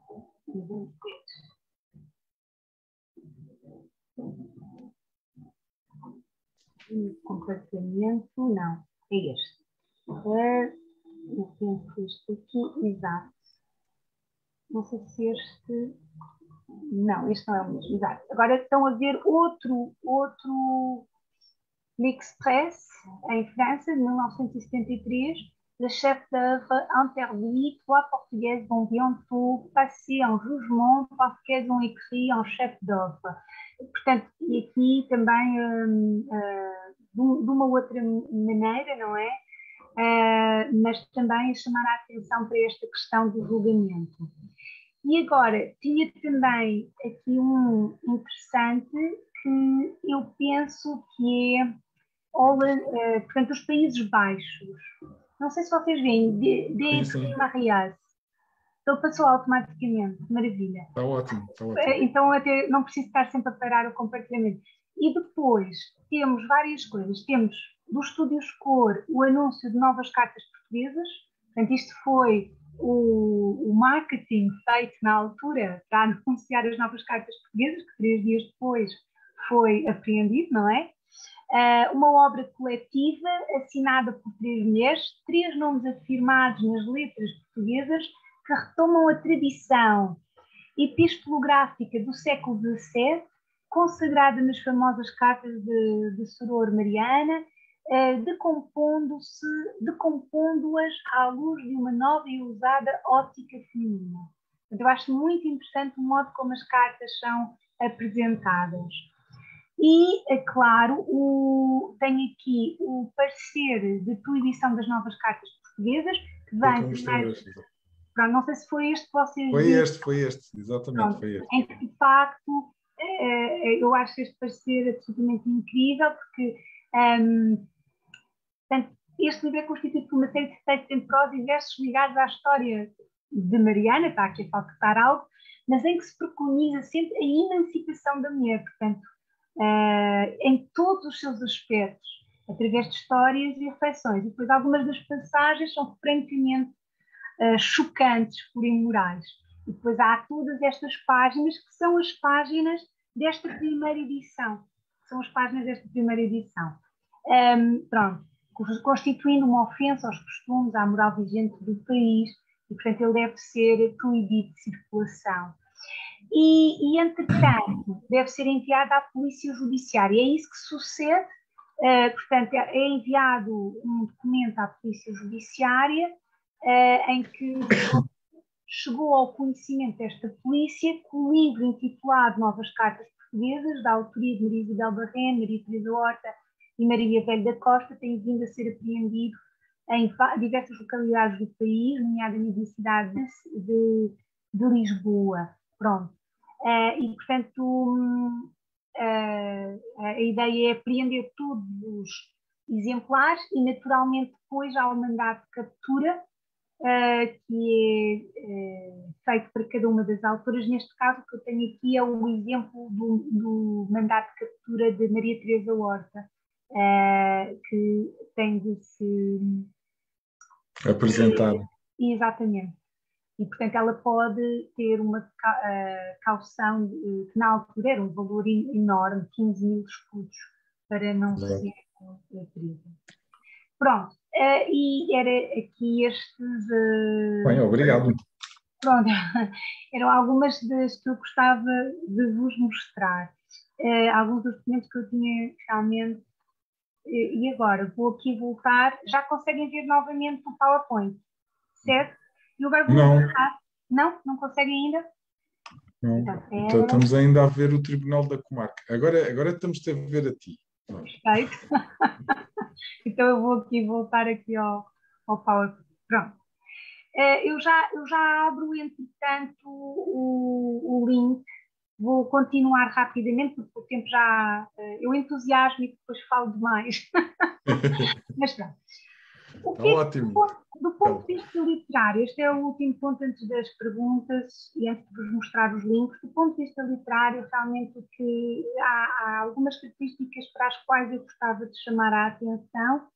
Tenho certeza que vocês já discutiram isso entre vós. Primeiro, a problematização de noções estabelecidas de autoria e de géneros literários, não é? Nós temos 120 textos de vários géneros, desde o género epistolar, cartas, ao género à poesia, a relatórios, a textos narrativos, a ensaios e a citações, não é?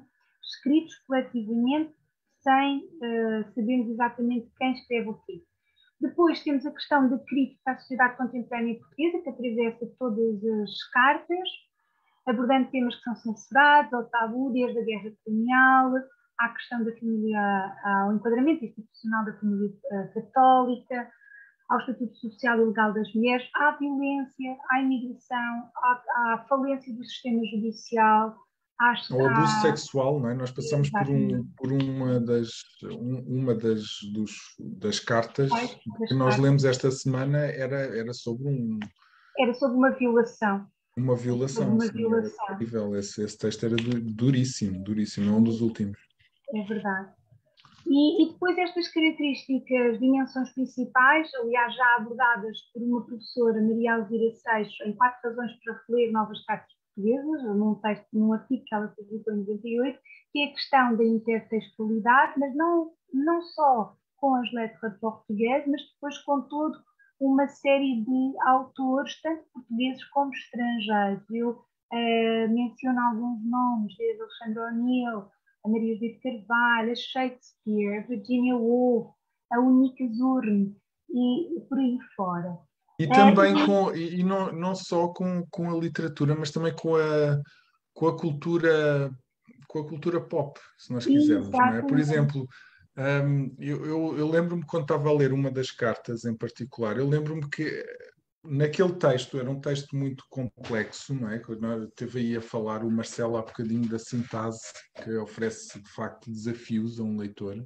A sintase destas frases, estas frases especialíssimas que elas construíam, uh, são frases também mágicas, não é? Ou hipnóticas.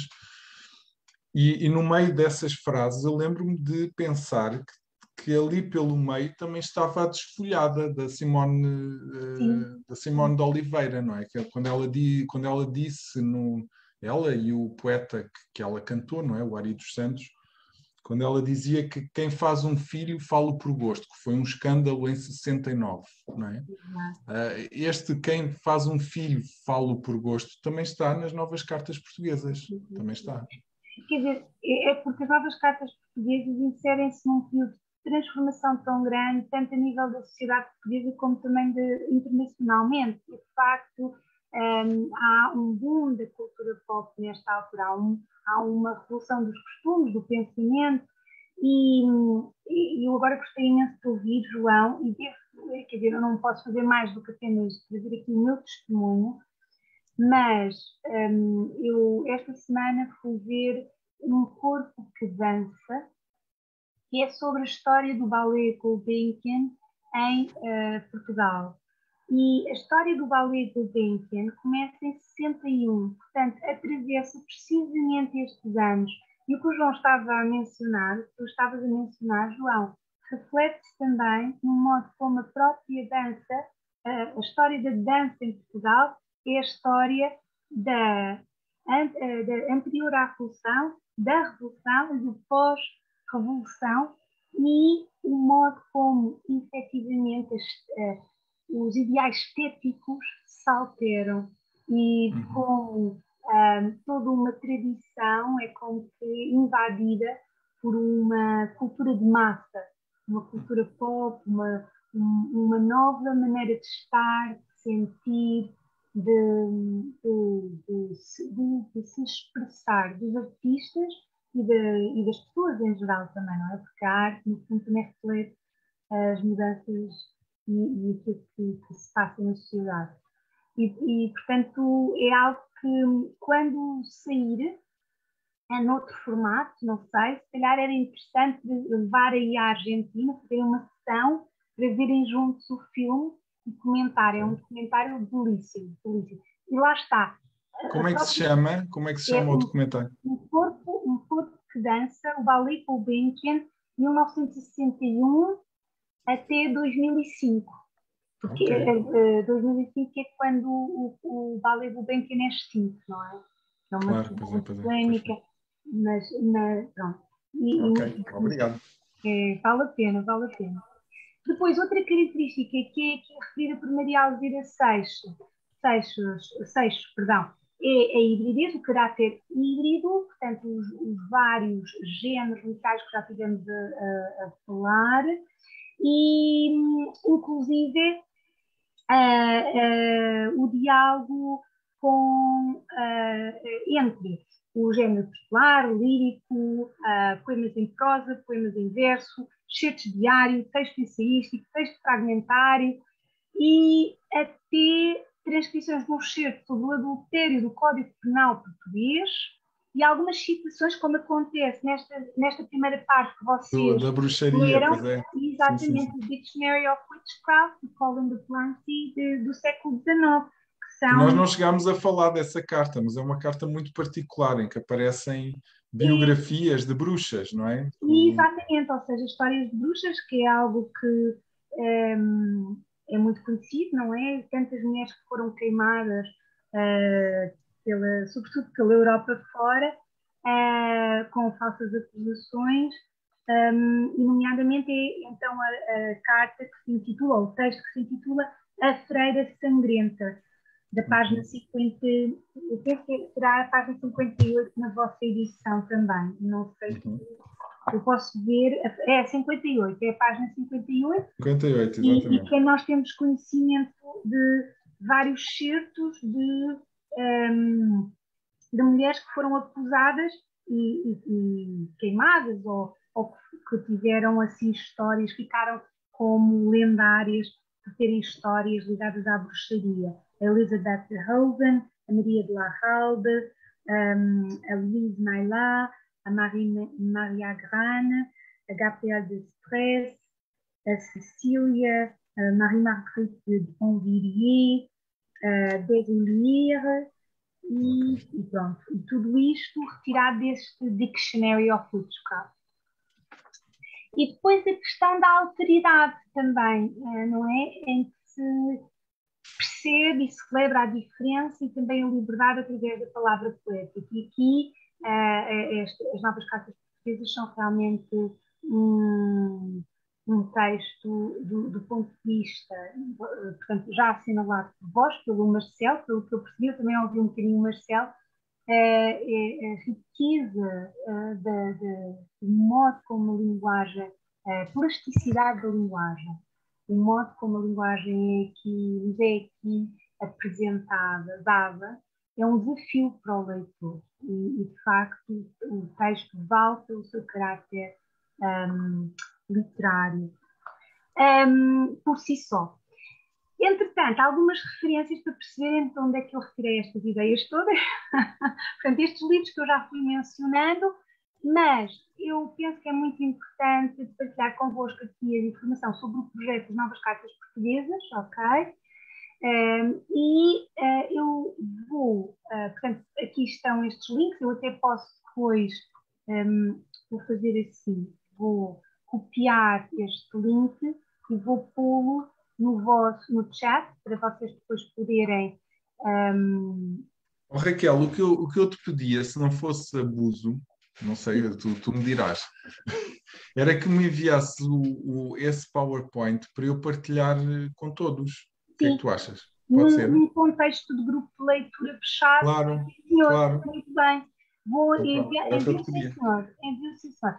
Agora, o que é que eu. Pronto, está aqui e o que eu vou fazer é. Vou interromper novamente e vou só compartilhar o, O link. o link propriamente dito, eu acho que vale a pena. Deixem-me só um, um instante para eu abrir. Eu já o tenho aberto, eu já tinha isto tudo mais ou menos preparado, mas acho que é mais fácil se eu abrir aqui. É, é esse, o site das novas cartas portuguesas é de facto muito, muito interessante. E eu só fiquei eh, um bocadinho desapontado, mas se calhar também tem a ver com, com, as, com as questões geográficas, não é? Eh, Onde eu estou. Eh, Por não estar em Portugal, se calhar é por isso que eu não tenho acesso a tudo. Pode ser.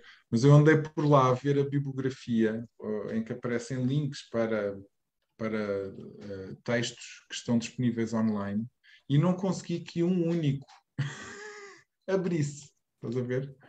É sério, Então, João. É, não- não consigo. Pronto, eu Se devo calhar dizer tem a ver com o facto de ser a partir da, da Argentina, não sei. Que isso está aí nas, hum, na base de dados, exatamente, aqui na base de dados. Eh, Se tu carregares aí, tens uma bibliografia com links por aí abaixo. Sim. E eu não consigo abrir um único. A ver, eu abro e. Olha, e tu, tu- vocês conseguem, estás a ver? Ok, ok. Sem comentários. Mas...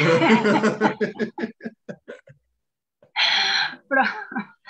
Mas o que é que eu ia dizer? Pronto, portanto, a base de dados funciona. Se não conseguires abrir, mandas-me, eu, eu abro. Anda mais para baixo, anda mais para baixo. A Se bibliografia calhar mesmo outro segue. que não se abre, se calhar foi azar, João. Sei lá.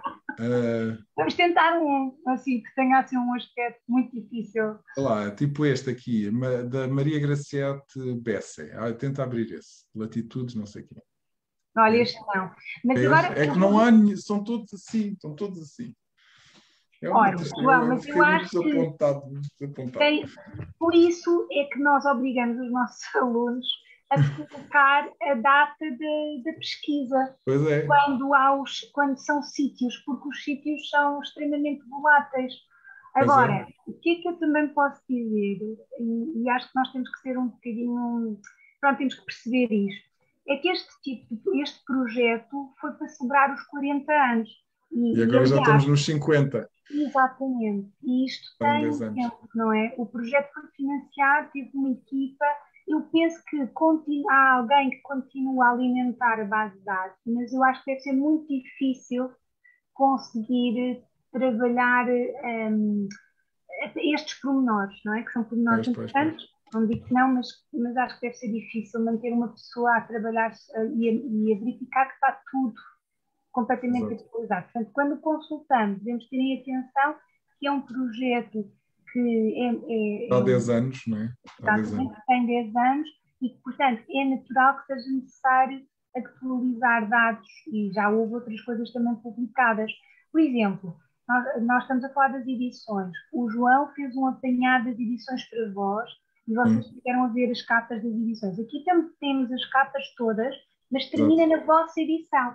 Ou seja, esta edição que saiu este ano já não está aqui, não é? Não está aqui. Era necessário adicioná-la. É, é a edição dos 50 anos depois. Aliás, eh, pronto, se calhar eh, depois, em relação até à própria biografia, embora eh, temos duas autoras que infelizmente já não estão connosco, mas temos uma autora que, por exemplo, ainda agora recebeu uma medalha atribuída pelo Presidente da República, precisamente nas comemorações dos 50 anos das novas cartas portuguesas, eh, no Teatro Dom, eh, do- Dona Maria II, em Lisboa, agora em abril. Uhum. Pronto, que são, são eh, alguns eh, reconhecimento, não é, da importância e do impacto que estas obras tiveram, que esta obra teve em particular e que estas autoras tiveram. Depois temos aqui a capa do Brasil, por exemplo, as novas cartas portuguesas, a segunda edição no Brasil. Nos Estados Sim, essas já tinha. já Exato. tinha. Essas, Eu não essas vimos, exato. Estas, estas são as tais que, que entram Vocês- nos, nos cinco anos, não é? Nos cinco anos. E, vo- e Depois. vocês, se calhar, têm mais acesso a elas aí do que nós cá, porque eu, por exemplo, nunca vi ao, ao vivo. Também não. Também não. E depois os Estados Unidos da América, é, três edições, ok, o que eu acho absolutamente fantástico, traduzidas pela Ellen Lane, um, Faith eh, Gilstein e Suzette Macedo, e é muito interessante porque há uma diferença entre quem traduz as prose sections e as poetry sections, pronto. E depois Inglaterra, ok? Portanto, eh, eu tinha falado que a a primeira tradução tinha sido em 73, mas eu não disse isto bem, foi 75, 75. ok? 75, eu peço desculpa. Eles, eh, as traduções no estrangeiro foram todas feitas depois do 25 de Abril. Eu não sei se isso está relacionado com os direitos da obra. Provavelmente sim, não é? Porque é uma obra que antes do 25 de Abril estava em tribunal, estava apreendida, Pois, não era? sim, sim, sim. Deve ter a ver com isso. São todas depois, não é? Em 74 há uma É logo em ali, França sim. Tens Em razão, 74. tens razão. e depois as outras são depois, 75, 76. Uhum. E as alemãs ainda são mais tarde, Não, é 76, a partir da, de uma que é de é 76. 76. E em França é em 74. A, a Exato, a primeira é em França. A primeira é em França. 74. Eh, em Itália, 77. Pronto, e depois há de facto uma série de, de vídeos E fotografias. sim, de fotografias que vocês podem, que podem aceder. Pronto, estas são todas o- as instituições eh, envolvidas no projeto. Pronto, Ok. okay. está sediado no Instituto de Literatura Comparada Margarida Lota. Pronto. E eu penso que com isto terminei a minha apresentação. Eu penso que imenso. bem, muito obrigado, Raquelinha. Não sei se, se alguém quer fazer alguma pergunta à Raquel, aproveitar que ela está aqui. Já é um bocadinho tarde, não é? Já passámos um bocadinho da hora, mas se alguém quiser dizer alguma coisa, está aqui a Fátima. A Fátima ligou o microfone. Sim, por acaso queria. Primeiro queria agradecer à professora esta súmula, que eu gosto imenso deste tipo de súmulas, porque me organiza muito bem as ideias. Uh, depois quero agradecer também à professora a sugestão do documentário Um Corpo que Dança. Né? Uh, foi é esse o título que a professora deu, né? que eu assentei aqui. Sim. E já agora, então, eu também queria uh, sugerir uma exposição que se chama Viagem ao Prazer Sexual Feminino, um, que tive acesso a ele como vinha a conduzir pela calçada de Carris, olho para um grande placar e apercebo-me do título desta exposição. Cheguei a casa, fui pesquisar e vi que um, já foi inaugurada no dia 24 do 6, até houve uma conferência de imprensa no dia anterior, é dinamizada pelo município de Oeiras e está expo exposto então no MUSEX, que é Museu Pedagógico do Sexo. Fica no Palácio Anjos, Algés, Oeiras. Pronto, e eu achei que lá está, esta exposição é uma grande evolução face até aquilo que a professora disse ou referiu uh, relativamente à obra Minha Senhora de Mim, em que a professora referia que é um livro de poesia em celebração do corpo e do prazer que provocou escândalo e foi apreendido. Graças a Deus que ainda houve esta evolução ao longo do tempo, não é? Pronto, era isso que eu queria dizer e obrigada. Obrigada e eu. Obrigado, obrigada, eu. obrigado, Eu não sabia da exposição, oh, João, deixa-me só dizer isto. Eu não sabia da exposição, mas vou, vou, vou procurar uh, e, e, vou ver se vou ver. Agora estamos em vantagem pelo facto de estarmos em Portugal. Exato. ok. Pronto, muito obrigado, Fátima. Não sei se mais alguém quer fazer alguma pergunta ou algum comentário rápido ou se podemos dar por encerrada a sessão. Ninguém Olha, quer dizer João, nada? Sim, Ninguém diz, diz. quer nada, eu só quero uh, agradecer muitíssimo os comentários também, porque as pessoas foram muito simpáticas, escreveram e, e, pronto, espero. Gostei muito, muito, muito de estar aqui convosco e de falar novamente sobre estas coisas que me apaixonam completamente. obrigado. É, muito, muito obrigado, Raquel. Eu, eu também Muito gostei obrigada. muito de conversar contigo e tenho muitas saudades tuas, por isso esta também foi uma maneira de matar as saudades que tenho tuas. Por isso, Beijinho, Raquel. obrigado, obrigado por vir Beijinho. aqui. Beijinho. Obrigado, obrigado a todos. Então voltamos na próxima semana com a professora Ana Clobuxa, não é? Que, que vai ser a, a nossa próxima convidada. Está bem? Pronto, Obrigadíssimo. a segunda Obrigada, Ana, não é? Ana. Esta é a primeira Ana. Ana. Ah, mas é uma Ana fantástica. Muito beijinhos. interessante. Obrigada. Boa Muito interessante. Boa